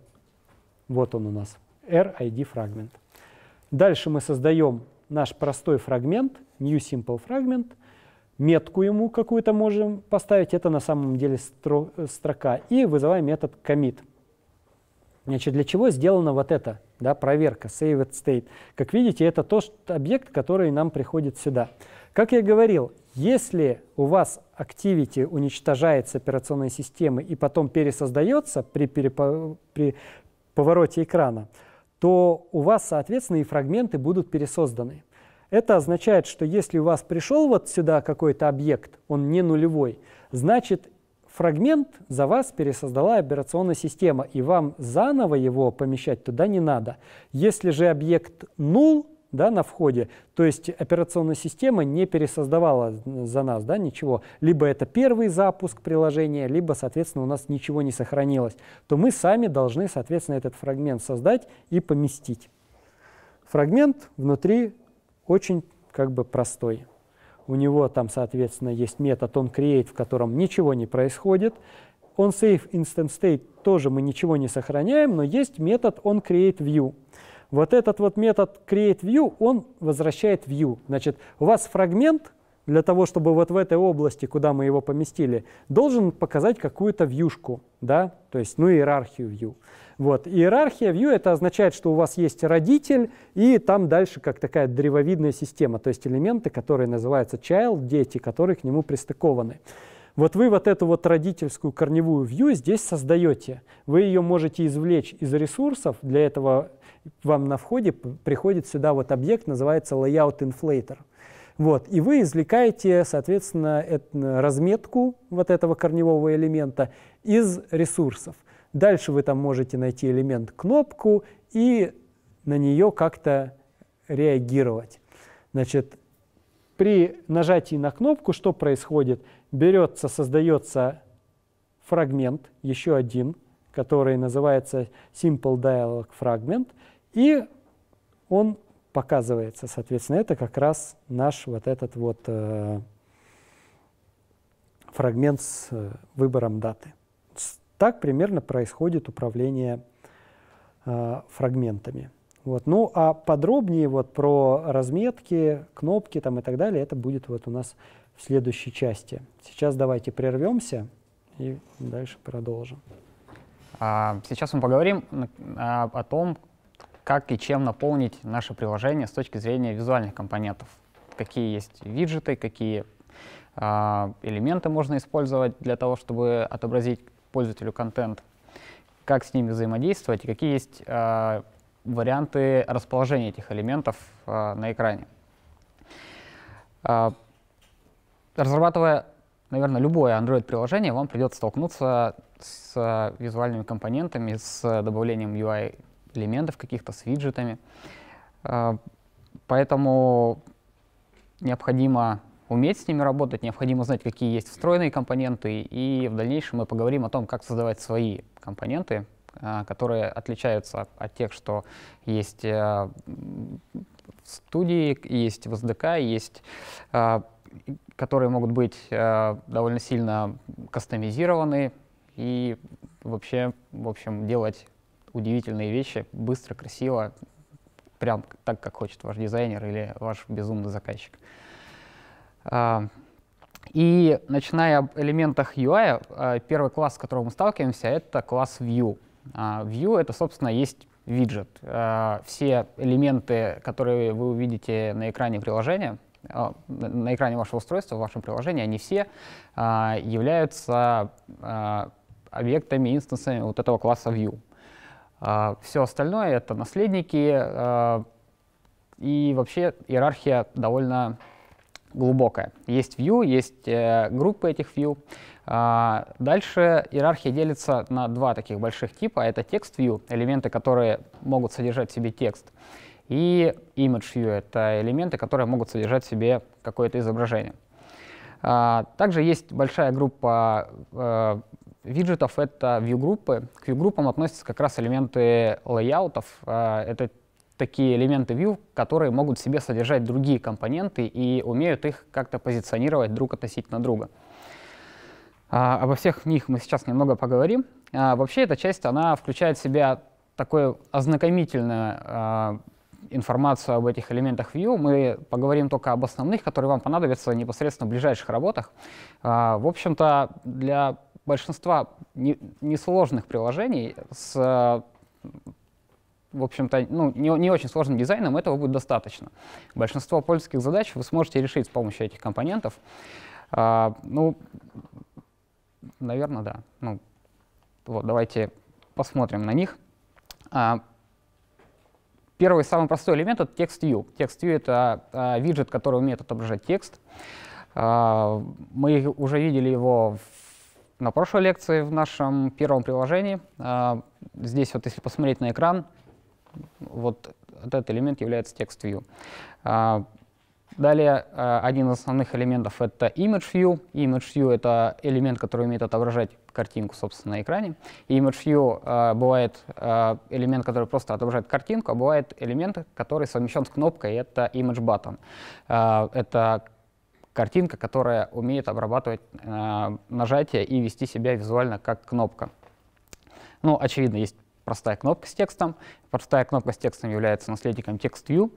А, и есть уже разные а, более изощренные визуальные элементы, такие как switch, здесь какой-то прогресс, прогресс-бар, чекбокс и что, что там еще. Еще у нас есть что я не сказал, радиобаттоны — это кнопки, которые поддерживают, соответственно, э, единичный выбор. А, у нас есть спиннеры. Спиннеры — это элементы, которые отображают загрузку. То есть если вы видели э, в приложениях, когда появляется специальный визуальный компонент, в котором э, крутится такой бегунок, это вот есть спиннер. Как правило, их все не любят, потому что если вдруг у вас э, какие-то проблемы в сети или приложение зависло и делает какую-то долгую обработку, появляется вот этот спиннер, и, в общем, все ждут, и э, пользователи, в общем, страдают, негодуют и расстраиваются, почему ваше приложение работает так долго, и они постоянно видят этот крутящийся спиннер. Uh, WebView. WebView — это тоже важная часть uh, визуального, uh, визуальных, ну, визуаль, э, важный виджет, он позволяет вам открывать браузер в вашем приложении и, собственно, отображать какой-то либо веб-контент, а, либо непосредственно переходить на какие-то внешние веб-сервисы, веб-страницы. бывает очень удобно и, в общем-то, необходимо в вашем приложении. Например, если взять приложение почта Mail.ru, то контент письма, который вы видите, это, собственно, WebView в каком-то виде. Мы отображаем верстку в виде HTML, обрабатываем ее там, JavaScript, собственно, форматируем этот текст и отображаем в виде веб-контента. А, довольно много приложений используют такой подход, и WebView позволяет сделать так, чтобы вы, а, взаимодействуя с приложением, не замечали того, что вы работаете с веб-контентом, а как будто это обычное текстовое представление вну, а, внутри вашего приложения, а, внутри нативного приложения, не в браузере. Ну, давайте пойдем дальше. Есть и более сложные элементы, которые представляют собой какой-то набор э, вот этих примитивных визуальных элементов. Э, такие элементы, как, например, э, DatePicker. Э, у Юры в, на примере в приложении этот DatePicker был э, во фрагменте по нажатию на кнопку. Э, на самом деле это диалог, в котором есть какие-то какой-то кастомный нарисованный циферблат, который обрабатывает кастомные нажатия, кастомную анимацию, но тем не менее это оформлено в виде view. Также есть э, image picker, есть какие-то э, кнопки для зума, э, медиаконтроллеры для работы, собственно, с воспроизведением звука и видео. Uh, и различные визуальные элементы с анимациями, которые тоже э, делают ваше приложение более отзывчивым, более красивым и, в общем, э, могут быть использоваться, могут использоваться для того, чтобы как-то разнообразить поведение приложения и часто отвлечь, например, пользователя при выполнении какой-то долгой операции. Вообще, вот этот шаблон отвлечения пользователя, он довольно популярен сейчас. И яркий пример — это экран загрузки операционной системы Android — а, если вы, ну, наверняка те, кто пользуется Android-телефоном, видели при запуске приложения, при запуске операционной системы, там э, происходит довольно красивая анимация, вот, переливаются какие-то элементы. А, все это сделано для того, чтобы процесс загрузки казался для вас менее мучительно долгим. Вы смотрите на эту анимацию, она вас развлекает, и кажется, что процесс происходит быстрее. Этот шаблон применяется во многих местах, в том числе и в приложениях. И часто а, туда вставляется какая-то красивая анимация, которая на время занимает вас, делая эти, а, ну, визуально скрашивая и сокращая ожидания, которые а, ну, вынужденно существуют в приложениях. Эти элементы View необходимо как-то располагать на экране вашего приложения. Для того, чтобы это делать, существует специальный элемент, это view-группа. View-группа, по сути, это контейнер для View. А, в Android существует несколько а, уже заранее сконфигурированных view групп. Они а, являются лейаутами. Для того, чтобы разместить элементы на view, например, в Activity, нам необходимо создать layout. И внутри этого лейаута добавить, соответственно, визуальные элементы view. Но лейауты могут включать в себя и другие лейауты, как мы видели, например, из фрагментов. Основных лейаутов довольно немного. Первый и самый простой, который мы используем в наших приложениях, собственно, с которого начнете вы, это Relative и Linear Layout. Это специальный тип лейаутов, которые позволяют отображать элементы либо линейно, пос последовательно друг за другом, либо друг относительно друга. Э, есть довольно простой frame layout, который э, не поддерживает какую-то э, многострочность элементов, а отображает элементы в виде одного окна, накладывая их друг на друга. Также есть table layout, это довольно устаревший layout, сейчас редко применяется в современных приложениях. И чуть позже, по ходу нашего курса, мы поговорим о новых э, типах лейаутов, таких как coordinator layout и э, constraint layout, которые добавились в операционную систему Android совсем недавно. А, мы будем говорить о них в рамках а, материал дизайна и новых визуальных компонентов. А, давайте чуть подробнее поговорим о самих лейаутах. Absolute Layout — это когда-то был базовый лейаут для всех основных view групп. Он считается deprecated, устаревшим. И если вы где-то увидите пример с использованием Absolute Layout, то не смотрите уже на них, он устарел, его использовать в своих приложениях не надо. В общем, он здесь э, для того, чтобы э, обратить ваше внимание на это. вот, не используйте его. А, Frame layout — самый простой layout, который позволяет, э, в общем, размещать элементы на всей доступной для него области. Если мы во Frame layout помещаем два элемента view, то они будут визуально накладываться друг на друга. То есть он не поддерживает никакого порядка элементов друг относительно друга.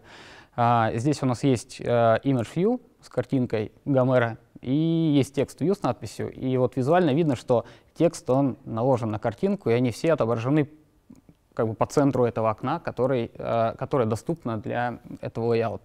Определено это э, вот здесь center — это scale для картинки, а сам frame layout, он занимает всю доступную для него область. Uh, fill parent — это также устаревший атрибут. Uh, сейчас uh, чаще применяется атрибут match parent для того, чтобы указать layout, что он возможность использования всей доступной для него области. Table Layout — это layout, который позволяет вам организовывать элементы в таблице. Это тоже достаточно э, старый элемент View. Он был популярен э, в версиях, наверное, 2, 4. Э, далее появился с выходом э, пятой версии, наверное, Grid Layout, который позволяет организовывать э, э, layout в виде условных сеток. И table layout стал использоваться реже. И, в общем, для того, чтобы решить задачу расположения элементов как-то структурированно в виде таблицы либо сетки, предпочтительно сейчас использовать grid layout. Он а, содержится в support library. А, в целом, table layout также подойдет. Он позволяет вам организовывать табличный layout. У него есть элементы а, row. А, row определяет, собственно, строку в таблице. Для того, чтобы определить отображение элементов в столбце, uh, у него есть специальный атрибут layout column. Собственно, он позволяет uh, сконфигурировать отображение элементов в столбец. Uh, далее очень важный layout — это frame layout. Frame layout — это layout, который позволяет вам позиционировать элементы друг относительно друга и относительно родительского контейнера, в котором эти визуальные элементы находятся. Ага, наверное, это один из самых популярных лейаутов, которые используются при верстке экранов в, в Android-приложениях. Потому что ну, он очень удобен. Когда нам необходимо расположить элементы как-то не линейно, а э, ну, каким-то сложным образом, то относительное расположение этих элементов, как правило, всегда помогает э, решить эту задачу довольно изящно и просто. А, э, у элементов view есть э, такие зависимости, как расположить там, а, с левого края от родителя, расположить по центру родителя внизу, а, также относить правее, чем э, элемент справа, отобразить правее, чем элемент слева. Мы посмотрим это на примерах. Но это очень удобные атрибуты, которые позволяют довольно гибко и просто располагать эти элементы view на по разным местам а, отведенного а, пространства в окне. А, альтернативой Relative Layout сейчас существует constraint layout, который позволяет отображать, э, располагать элементы view согласно некоторым ограничениям. Это новый тип layout, он на самом деле зарелизился, наверное, несколько месяцев назад. До этого он был довольно долгое время в бете. Сейчас он достиг производительности, сравнимой с э, Relative Layout, поэтому э, его уже можно и встретить в приложениях, которые э, доступны в маркете. Э, он стал довольно широко использоваться. Мы будем про о, него, о нем говорить, когда будем рассматривать э, визуальные элементы, э, характерные для материал дизайна. Э, и почему-то он последний, но он э, один из самых базовых. Это linear layout, это layout, который позволяет располагать элементы э, линейно и последовательно. Э, у linear layout есть обязательный атрибут, это orientation. Соответственно, есть два варианта задания orientation, горизонтальный и вертикальный. Это направление, собственно, расположение этих элементов в пространстве это значит, что каждый последующий элемент view в иерархии будет располагаться либо а, добавляться горизонтально к этому элементу, то есть вставать за ним правее, либо а, layout будет расти вниз, при добавлении каждого следующего элемента а, он будет добавляться ниже предыдущего элемента view. А, это очень простой layout, он очень быстр в расчетах и измерениях, соответственно, в отрисовке. Поэтому, если говорить о предпочтительности использования этих лейаутов, то в первую очередь нужно рассматривать возможность использования линейного лейаута, как раз ввиду его скорости работы.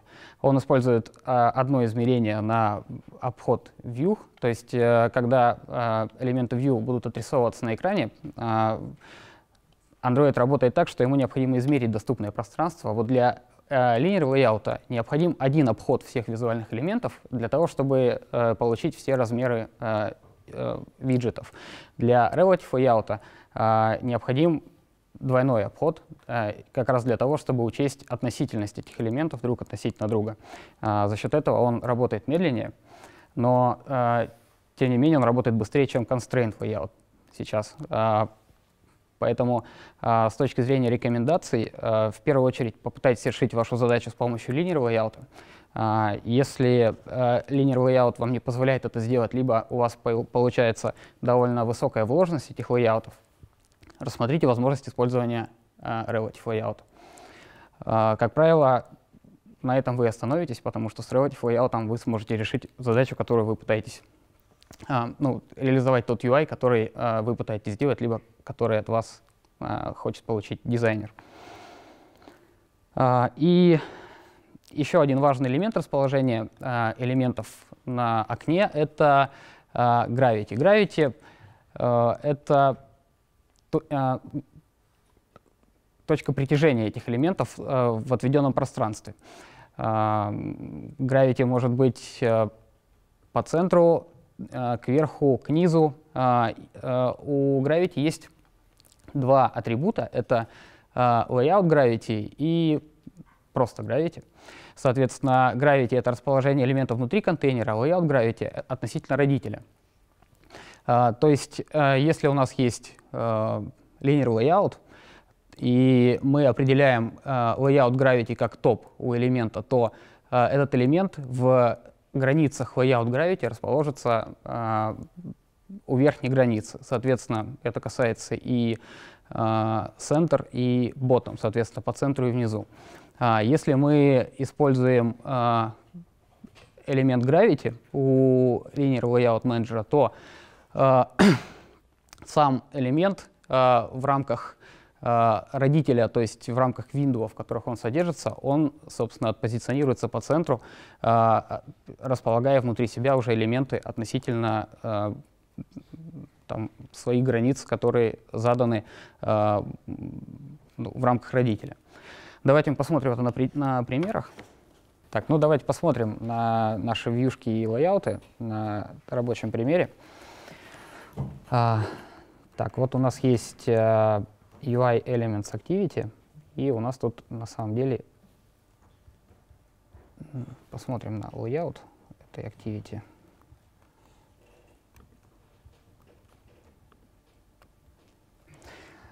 А, вот, что мы здесь видим? У нас основной контейнер — это frame layout. А, внутри него содержится специальный визуальный компонент — это scroll view. Это view, которая позволяет а, обрабатывать а, движение скролла по экрану. И внутри Scroll содержится второй контейнер, Linear Layout. Он, соответственно, позволяет нам а, организовать а, последовательно вложенные а, виджеты. У Linear Layout orientation атрибут а, задан как vertical, то есть элементы а, в, а, на этом экране будут отображаться вертикально. А, у нас есть э, текст view button несколько image контейнеров progress bar, sig bar и рейтинг и спиннер. В студии мы можем посмотреть, как это будет выглядеть, наверное, да. А если мы переключимся во вкладку дизайн, то мы увидим, а, как а, визуально примерно будет выглядеть наш UI на устройстве. Вот справа есть интересная view. А, это как раз а, view, которая была добавлена а, в библиотеку а, для constraint layoutов. И, в общем, в таком отображении можно видеть э, границы элементов. И если мы будем использовать новый э, layout, constraint layout, то здесь будут отображены еще такие расстояния до элементов с э, измерениями. А, так как сейчас у нас простой фрейм и linear layout, то здесь просто видны вот границы элементов, как они друг с другом соотносятся, и как раз вот эта вертикальная ориентация здесь видна.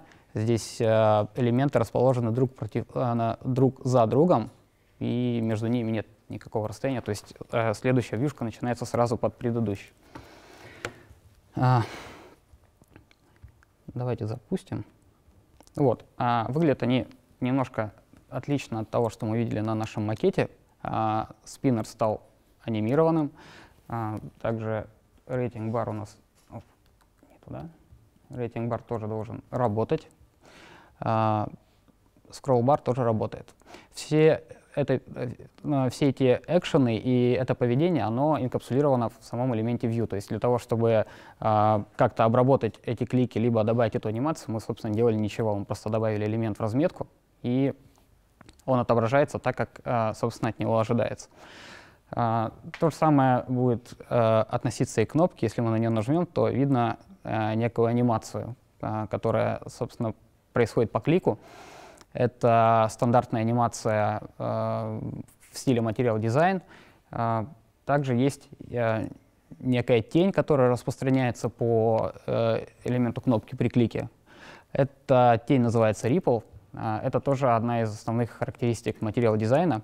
Э, все кликабельные элементы в рамках материал дизайна должны э, иметь э, вот это свойство Ripple при нажатии. Если мы нажмем на Image Button, то здесь тоже видно что на ней есть Ripple. Соответственно, картинка не кликабельна, и по клику ничего не происходит. Также Ripple есть, по крайней мере, должен быть. Да, плохо видно. А, на самом деле он там есть, и когда вы будете делать свои какие-то rate-бар элементы, а, нажатия по а, этим компонентам, они должны а, желательно, чтобы имели вот этот трипл эффект, чтобы пользователь визуально понимал, что он совершил какое-то действие и э, видел, собственно, ассоциировал с элементом на экране, и ему было понятно, что э, его клик э, привел к каким-то изменениям в интерфейсе.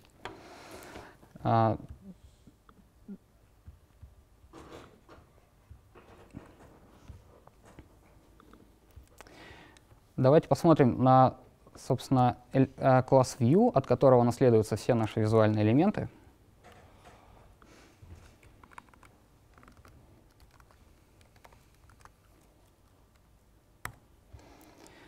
Э, вообще, для того, чтобы понимать, как э, работает система и как работают визуальные компоненты, я рекомендую вам часто, чаще заглядывать э, в исходный код этих компонентов. В общем-то, читая исходный код, становится понятно, как э, работают те или иные вещи и какие э, методы и интерфейсы те или иные объекты и компоненты SDK пред, предоставляют.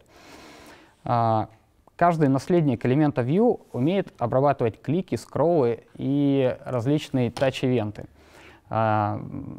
так как это умеет делать непосредственно базовый класс View.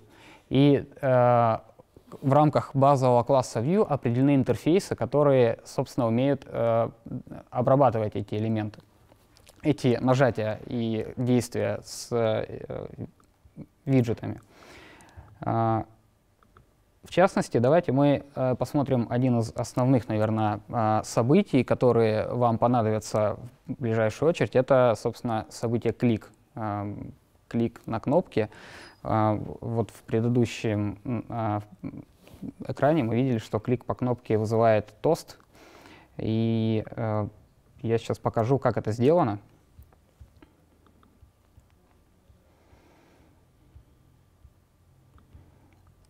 А, у нас э, кнопка — это push-button.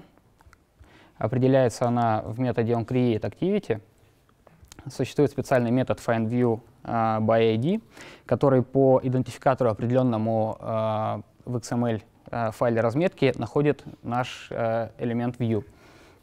Откуда взялся этот RID push button?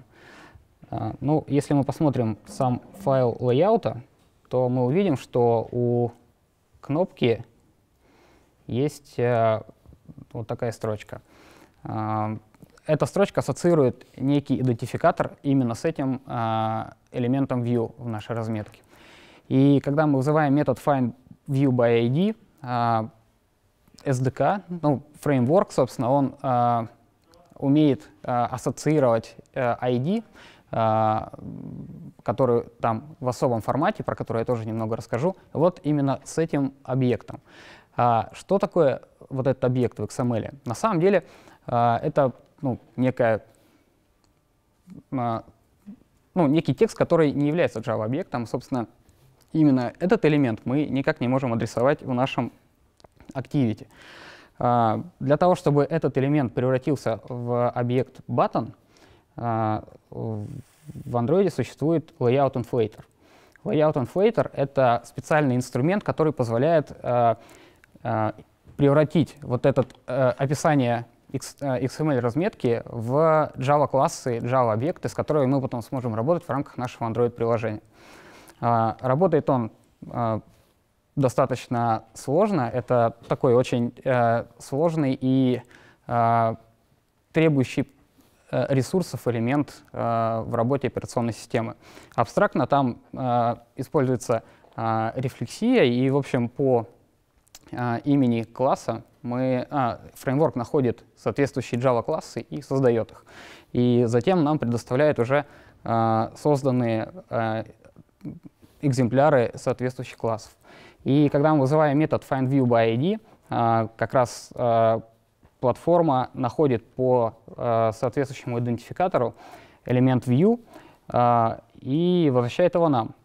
Почему здесь вот этот вот каст? Это явное приведение типов.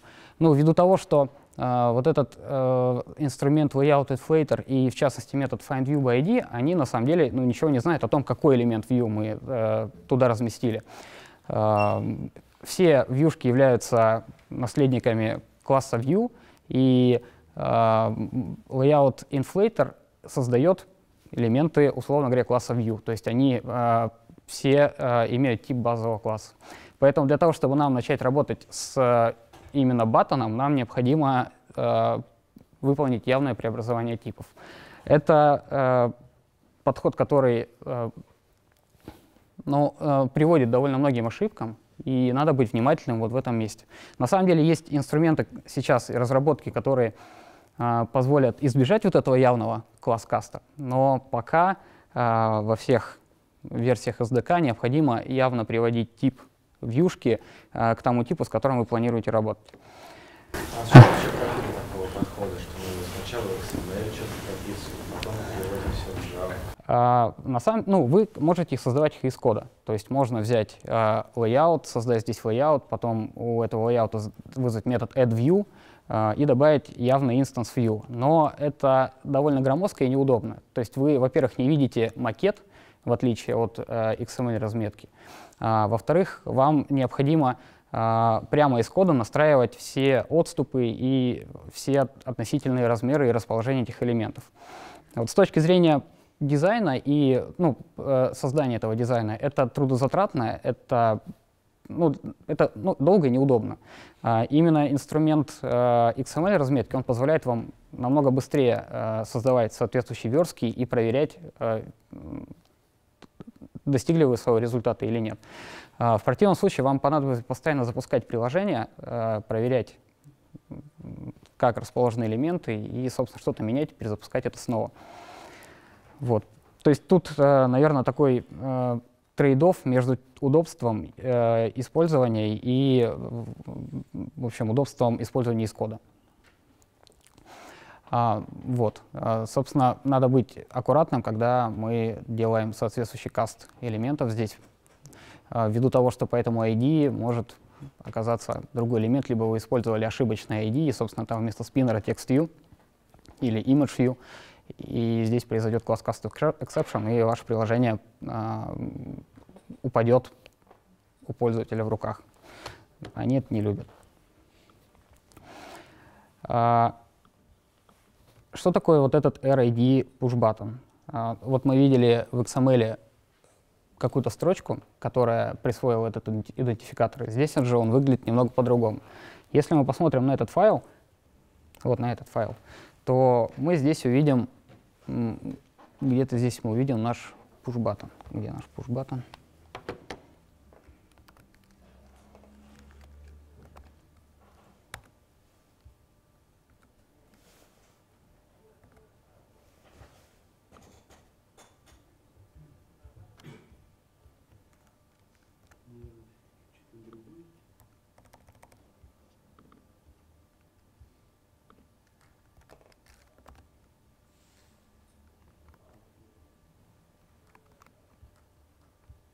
Да. UI Elements и именно по R-классу, там, именно в Java коде.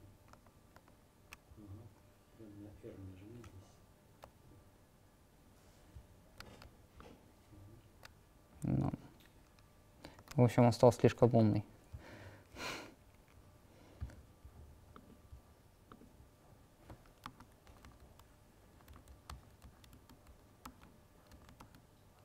Нет, ну попробуем.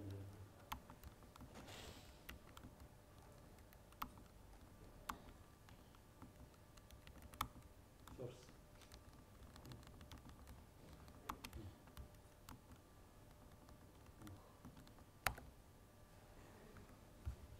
Мы пришли сюда же.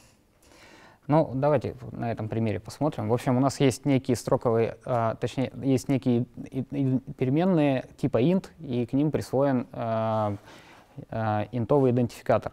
А, где-то а, существует маппинг между, а, собственно, элементами, объектами а, view и вот этим идентификатором. И, собственно, то, что мы в XML присвоили некое значение, оно затем добавляется специальный сгенерированный файл R в виде интовой константы. И когда мы из Java работаем с, э, пытаемся найти элемент э, на вьюшке, то мы указываем эту константу, и затем, когда э, платформа начинает обходить дерево вьюшек, оно ищет соответствующий э, элемент view, вот по этой константе возвращает нам этот элемент view.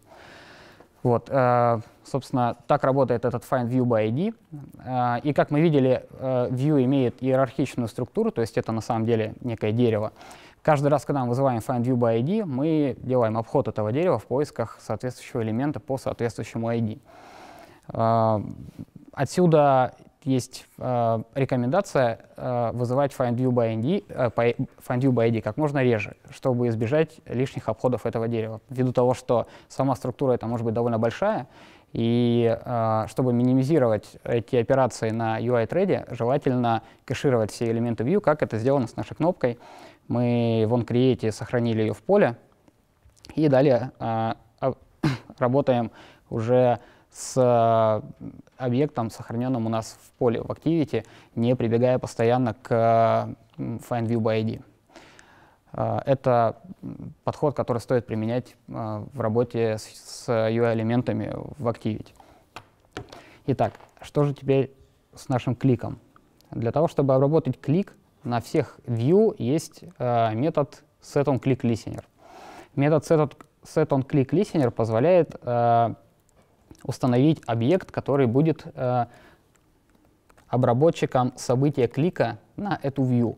Как я уже сказал, э, клик-листенер можно определить для каждого элемента view, поэтому на всех виджетах есть э, такой метод setOnClickListener.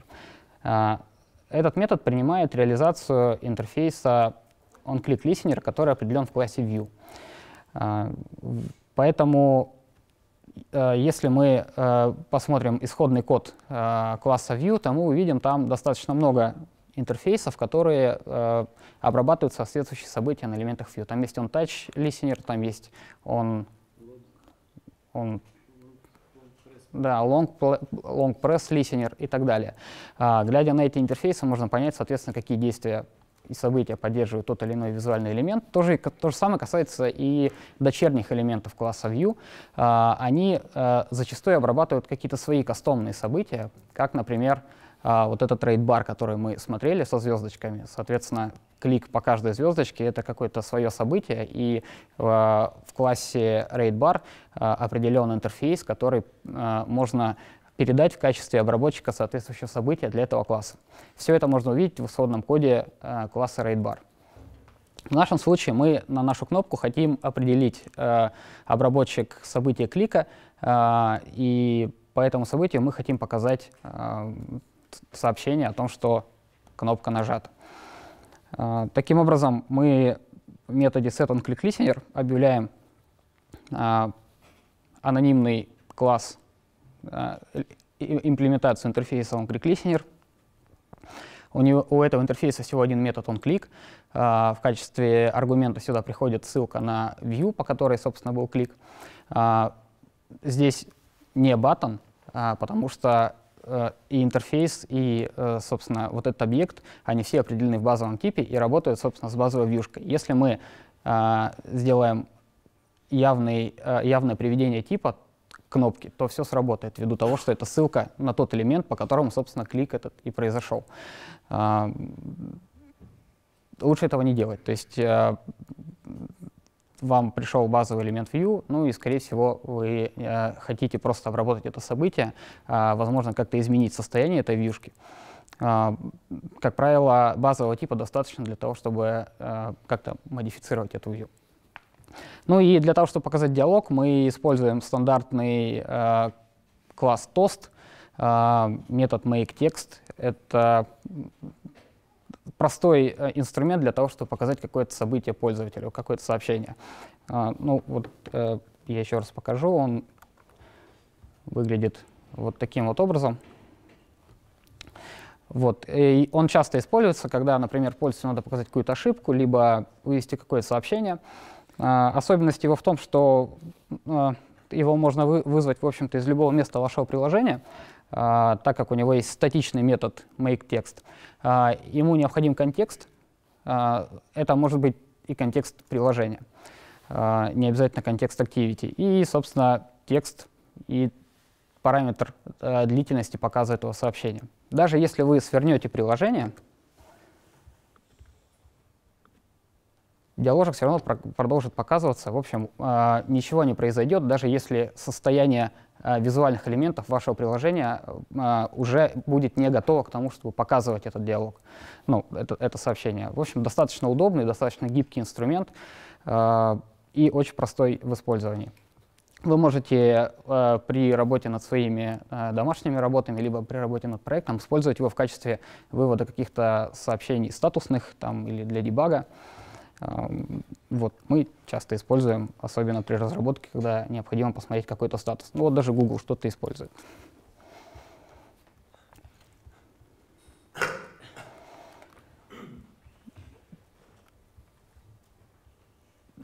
Так.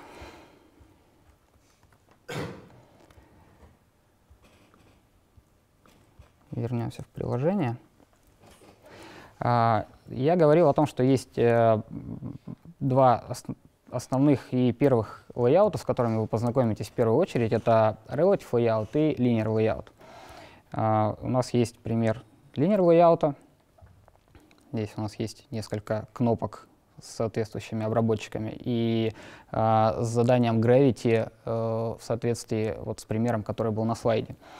И есть Relative, relative Layout, с э, указанием э, расположения элементов друг относительно друга относительно редического элемента. Давайте посмотрим, как в коде это сделано. Вот, вот наш relative layout. Соответственно, layout определен как родительский элемент этого, этой вьюшки.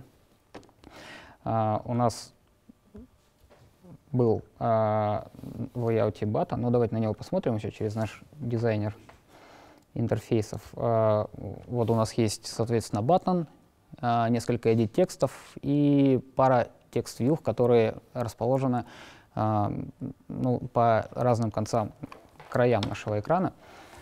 А, посмотрим на элементы разметки, как это сделано. Ну, давайте посмотрим, вот пойдем снизу, и у нас есть элемент с текстом right center. Это значит, что этот текст view будет расположен справа по центру нашего экрана.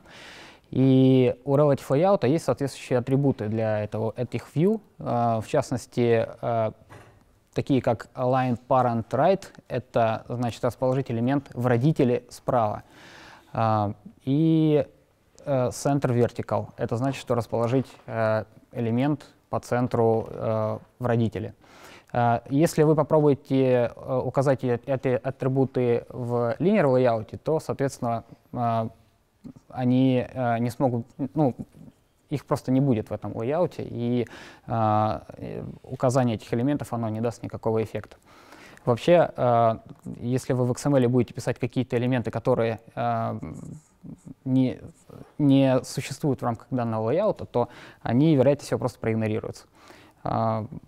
Поэтому э, бывает, что вы в каком-то layout е указываете э, атрибуты, которые не свойственны для этого layout а, и оно не работает. Вот надо проверить еще раз, что контейнер, родительский layout, в котором эти view шки находятся, он поддерживает те или иные атрибуты, и, э, соответственно, эти элементы согласованы между собой. А, то же самое э, касается э, ну, точно так же указаны bottom center э, расположение элементов в родителе как э, bottom и center horizontal, соответственно, расположить э, в родителе снизу и по центру по горизонтали. Следующие элементы, они расположены э, в зависимости друг относительно друга. В частности, элемент editText имеет атрибут toWriteOff, э, и э, Параметр, значением этого параметра, этого атрибута, является ссылка на элемент firstName, который определен выше в лейауте. Это значит, что элемент editText будет расположен справа от этого TextView на нашей разметке. А, достаточно простой и удобный способ позиционирования э, элементов друг относительно друга. Ну и, и если мы посмотрим на, на Relative Layout э, в сравнении с Linear Layout, то у него нет атрибута Orientation, э, ввиду того, что этот атрибут в, контексте этого лайаута бессмысленен. В, свое вре в то же время э, Linear Layout он не может работать без указания этого атрибута.